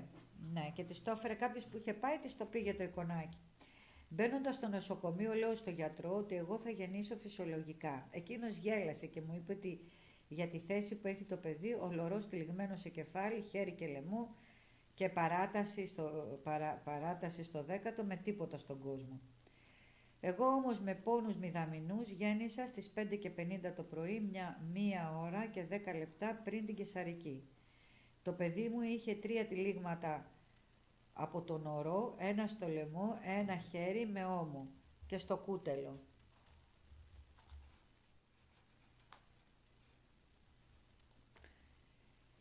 Όλοι φώναζαν στο χειρουργείο. Θαύμα, θαύμα. Εγώ όμως η αμαρτωλή, η τρισάθλια, η ανάξια και λίγα λέω για τον εαυτό μου, στον Αγιούλη μου, αντί να έρθω το 1992, ήρθα το 2010. Το, το, το Ιανουάριο και εκπλήρωσα το τάμα μου. Και ο Αγιούλης μου μου έκανε και δεύτερο θαύμα. Μου σταμάτησε τις αιμορραγίες που είχα.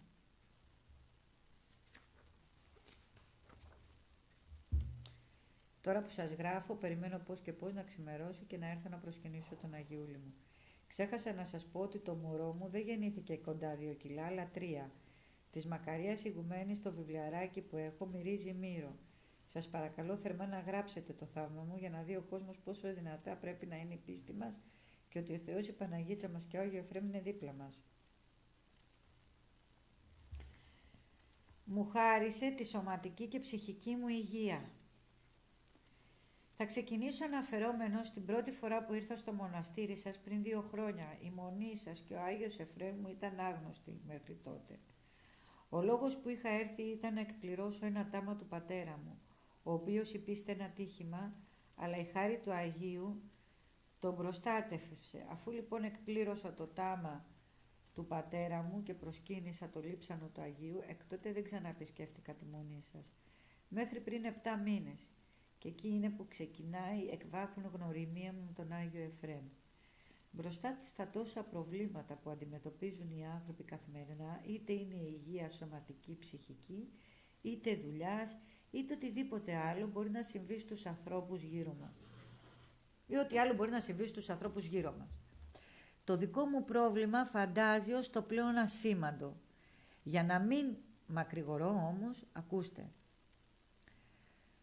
από τα 15 μου με ταλαιπωρεί τριχόπτωση σε έντονο βαθμό. Έχω ακολουθήσει διάφορες θεραπευτικές αγωγές με μέτρια αποτελέσματα. Το αποκορύφωμα όμως της όλης κατάστασης ήρθε πριν 7 μήνες. Αρχές καλοκαιριού, όπου έβλεπα το κεφάλι μου στην ηλικία των 25 πλέον να διάζει. Θέλω να επισημάνω το δικό μου πρόβλημα μπροστά στα υπόλοιπα που έχω διαβάσει στα βιβλία με τα θαύματα του Άγιου Εφρέμ είναι αντικειμενικά ίσονος σημασίας. Όταν όμως παρεμβάλλεται και το θέμα της ψυχολογίας που επηρεάζει την ψυχική υγεία μας, τότε αλλάζουν τα δεδομένα. Τι θέλω να πω με αυτό; Από τη στεναχώρια μου δεν κοιμόμουν ήρεμα, τα βράδια ούτε είχα όρεξη να φάω, είχα χάσει αρκετά κιλά, καθώς και κάθε διάθεση για οτιδήποτε. Είχα απελπιστεί και οφείλω να ομολογήσω ήμουνα στα όρια της κατάθλιψης. Δεν έβγαινα από το σπίτι μου παρά μόνο για να πάω στη δουλειά η όλη αυτή κατάσταση με επηρέασε και σωματικά, καθώς συχνά πυκνά είχα ταχυκαρδίες και έναν αεξήγητο πόνο στο δεξιό μου πνεύμονα. Όντως λοιπόν σε αυτή την κατάσταση, σε μια συζήτηση που είχα με ένα γνωστό μου, αναφέρθηκε στον Άγιο Εφρέμ και στη Μονή της Νέας Μάκρης. Αυτή η αναφορά ήταν και το έβνασμα το να τον επισκεφτώ ξανά μετά από καιρό. Μέσα μου κάτι μου έλεγε έντονα πως θα λάβω βοήθεια από τον Άγιο Εφρέμ. Η πρώτη μέρα που πήγα και δεν θα την ξεχάσω ποτέ ήταν η Κυριακή πρωί στη Θεία Λειτουργία. Αν και ξενυχτισμένος λόγω βραδινής υπηρεσίας, αφού σχόλασα νωρίς το πρωί, ξεκίνησα για τη μονή. Άλλο ήταν τόσο έντονη η επιθυμία μου να πάω, που παρόλο την κούραση δεν θα με έπιανε ο ύπνος αν έμενα σπίτι.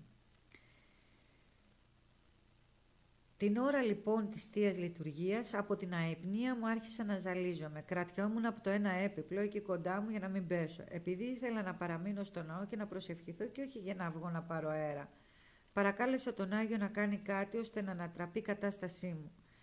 Πριν προλάβω να τελειώσω τη σκέψη μου, ένιωσα να με κατακλείζει ένα κύμα ενέργειας και ζωντάνιας, ανεξήγητο για τα ανθρώπινα δεδομένα. Τόσο δυνατό που ένιωσα ότι θα μπορούσα να κάθομαι άλλο τόσο και παραπάνω όρθιος. Εκεί κατάλαβα ότι ο Άγιος Εφρέμ άκουσε την προσευχή μου και θα με βοηθούσε με οποιοδήποτε τρόπο. Με την πάροδο των εβδομάδων, των μηνών, η κατάστασή μου βελτιωνόταν. Πρώτα με τη χάρη του Άγιου Εφρέμ και ύστερα με την κατάλληλη και σωστή αγωγή. Το τριχωτό της κεφαλής μου σταθεροποιότανε και σιγά σιγά πύκνωνε.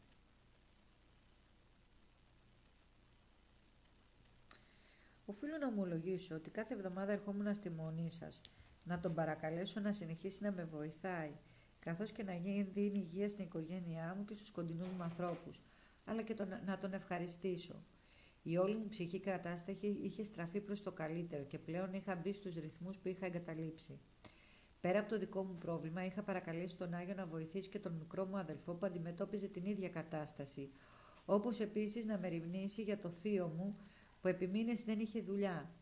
Εμπιστεύτηκα τον Άγιο Εφρέμ και το αποτέλεσμα ήρθε. Ο θείος μου πλέον έχει δουλειά και μάλιστα πολλά δρομολόγια με το φορτηγό και η κατάσταση του αδερφού μου είναι σαφώς καλύτερη. Τέλος, θα αναφερθώ σε ένα ακόμα σημάδι του Αγίου που παράβλεψα να αναφέρω. Όταν είμαι από, ότι είμαι από Θεσσαλονίκη και λόγω δουλειάς μένω στην Αθήνα εδώ και τέσσερα χρόνια. Έχοντας συμπληρώσει τώρα τα χρόνια εδώ, ανυπομονούσα να επιστρέψω στην ιδιαίτερη πατρίδα μου με μετάθεση. Από διάφορες πηγές όμως έμαθα ότι το όνομά μου δεν θα ήταν στη λίστα των μεταθυ... αυτούς που θα μετατεθούν. Και ως εκ τούτου με έπιασε μεγάλη στεναχώρια. Μόνη μου ελπίδα ο Άγιος Εφρέμ. Σε μια από τις συχνές επισκέψεις μου λοιπόν στη Μονή εκμυστηρεύτηκα το θέμα της μετάθεσης σε μια μοναχή, η οποία με, με, με προέτρεψε να προσευχηθούμε κάτω από την εικόνα του Αγίου. Καθώς τελειώσαμε μου λέει βλέπεις το καντήλι του Αγίου που κουνιέται, όλα θα πάνε καλά, μην ανησυχείς. Και όντως το καντήλι του Αγίου Εφρέμ πήγαινε δεξιά και αριστερά. Τη στιγμή που όλα τα υπόλοιπα καντήλια ήταν ακίνητα. Απλά Έμεινα έκπληκτος και όσο το σκεφτόμουν μετά τόσο πιο πολύ ήρεμος έμεινα με το θέμα της μετάθεσης. Και το αποτέλεσμα δεν άρχισε να φανεί. Μετά από δύο-τρεις μέρες έμαθα ότι τελικά παίρνω μετάθεση, μαζί με πολλά άλλα άτομα. Δεν μπορώ να κρύψω ότι η χαρά μου ήταν και είναι απερίγραπτη. Να με συγχωρείτε σεβαστηγουμένη αν σας κούρασα, αυτό το γράμμα όμως μαζί με κάποια άλλα πράγματα τα είχα τάξει στον Άγιο Εφρέμ. Μπορεί το πρόβλημά μου να, μην, να ήταν ασήμαντο, όπως προανάφερα, χάρης όμως στη βοήθεια του Άγιου Εφραίμ, είμαι καλά. Έχει πάρα πολλά θαύματα, μπορούμε να διαβάζουμε ώρες, μήνες, χρόνια. Νομίζω είχα κάνει και πάλι στο παρελθόν ε, έτσι αφιέρωμα στο... Καλά, οι Άγιοι μας κάνουν πολλά θαύματα. Σας έχω διαβάσει και για τον Πατρε Παΐσιο, σας έχω διαβάσει και για τον Άγιο Λουκά τον Ιατρό. Εντάξει, καλό είναι να διαβάζουμε εντάξει, έτσι να αφιερώνουμε που και που σε αυτά κανονικά. Είχαμε ξεκινήσει μία στήλη με τις παράξενες ειδήσεις. Και κανονικά έπρεπε να πούμε παράξενες ειδήσεις και τέτοια. Αλλά βέβαια επειδή νομίζω ότι θα έχουμε τον καλεσμένο δεν ανακοίνωσε και τις παράξενες ειδήσεις που ακούμε. Άλλωστε πόσο παράξενες ειδήσεις πια να ακούσουμε; Δεν θέλω, εγώ έχω εγκαταλείψει τις ειδήσεις. Δεν, δεν, δεν, δεν. Πιο παράξενο από αυτά με τον κορονοϊό και με αυτά υπάρχει, δεν υπάρχει. Λοιπόν, και επέλεξα να σας κάνω αυτό γιατί καλό είναι να διαβάζουμε και τα θαύματα. Καλό είναι. Και θα σας πω και κάτι άλλο. Οι Άγιοι ακούνε. Ακούνε, δηλαδή... Ε, υπάρχουν, να, να, να πω κάτι τώρα, υπάρχουν χωρισμένα ζευγάρια που ε, ο ένας από τους δύο δεν έχει... Ρε παιδί μου, υπάρχουν ζευγάρια που χωρίζουν. Ωραία. Παίρνει ο πατέρας το παιδί και εξαφανίζεται και η μάνα το ψάχνει. Πού θα απευθυνθεί στην Παναγιά να της το γυρίσει πίσω το παιδί της. Επειδή όμως και οι πατεράδες τρώνε bullying τώρα το 2020 δυστυχώς και οι πατεράδες έχουν γίνει τα πράγματα, έχουν αλλάξει. Πιο πολύ bullying τρώνε τώρα οι πατεράδες από τις μανάδες παρά... Δηλαδή τώρα ε, έχω ακούσει κάποια περιστατικά που και λυπάμαι γιατί υπάρχουν νέες μητέρες που σκέφτονται έτσι στενόμυαλα και χαζά και προσπαθούν να εκδικηθούν τον άντρα μέσα από το παιδί. Αυτό είναι ό,τι χειρότερο εντωμεταξύ, ε. Όσο και βλέπεις υποτίθεται μορφωμένες, κοινωνικές, με ποιότητα, με, με, με παιδεία. Με παιδεία και φέρονται, καταστρέφουν τα παιδιά τους. Να πω λοιπόν ότι η προσευχή μας στην Παναγίτσα, να ξέρετε ότι τα κάνει όλα ωραία.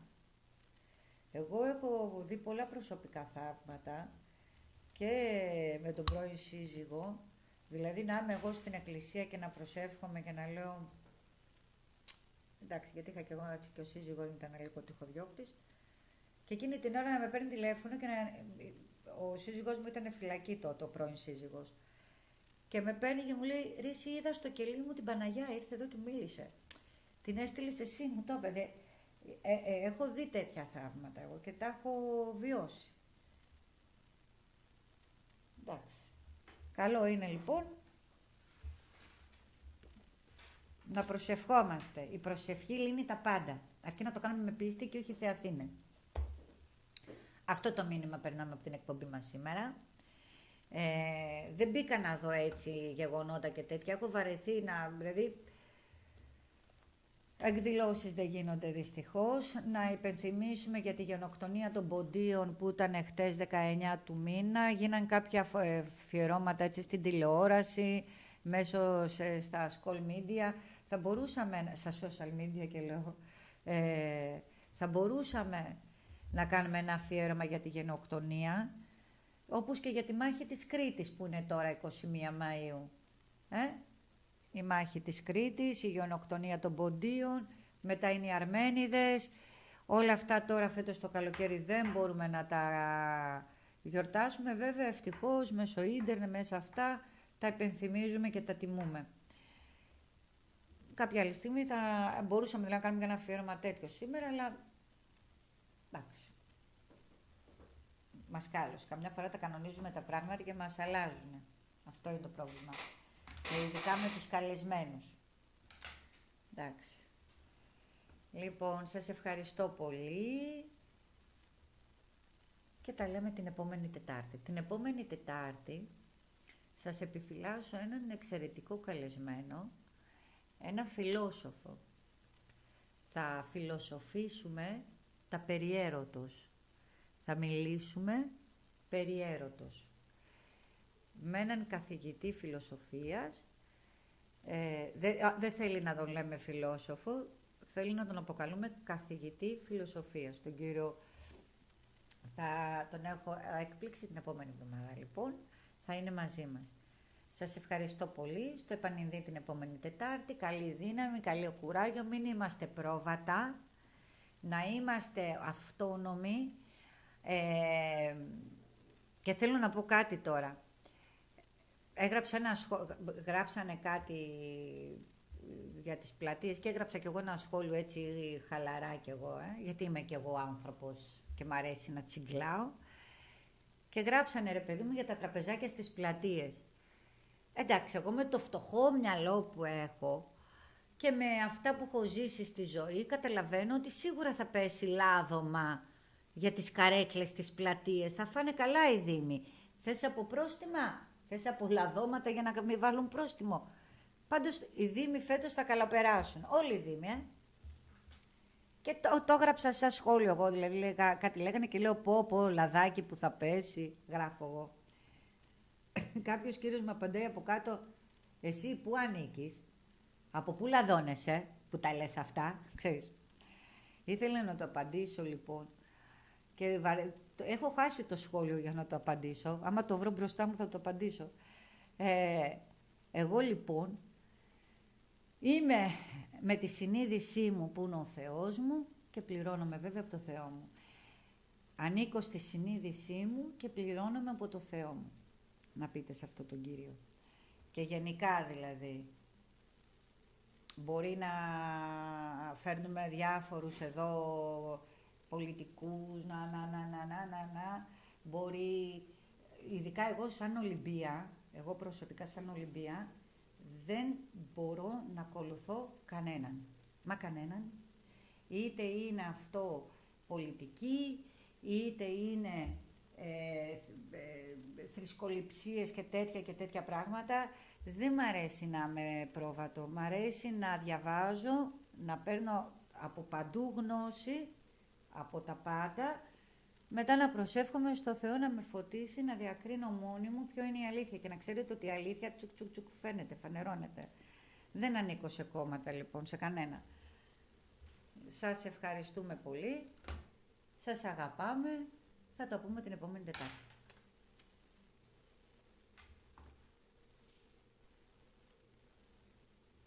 Πώς το κλείνω; Α, κάτσε βάλω λίγο μισοκούλα.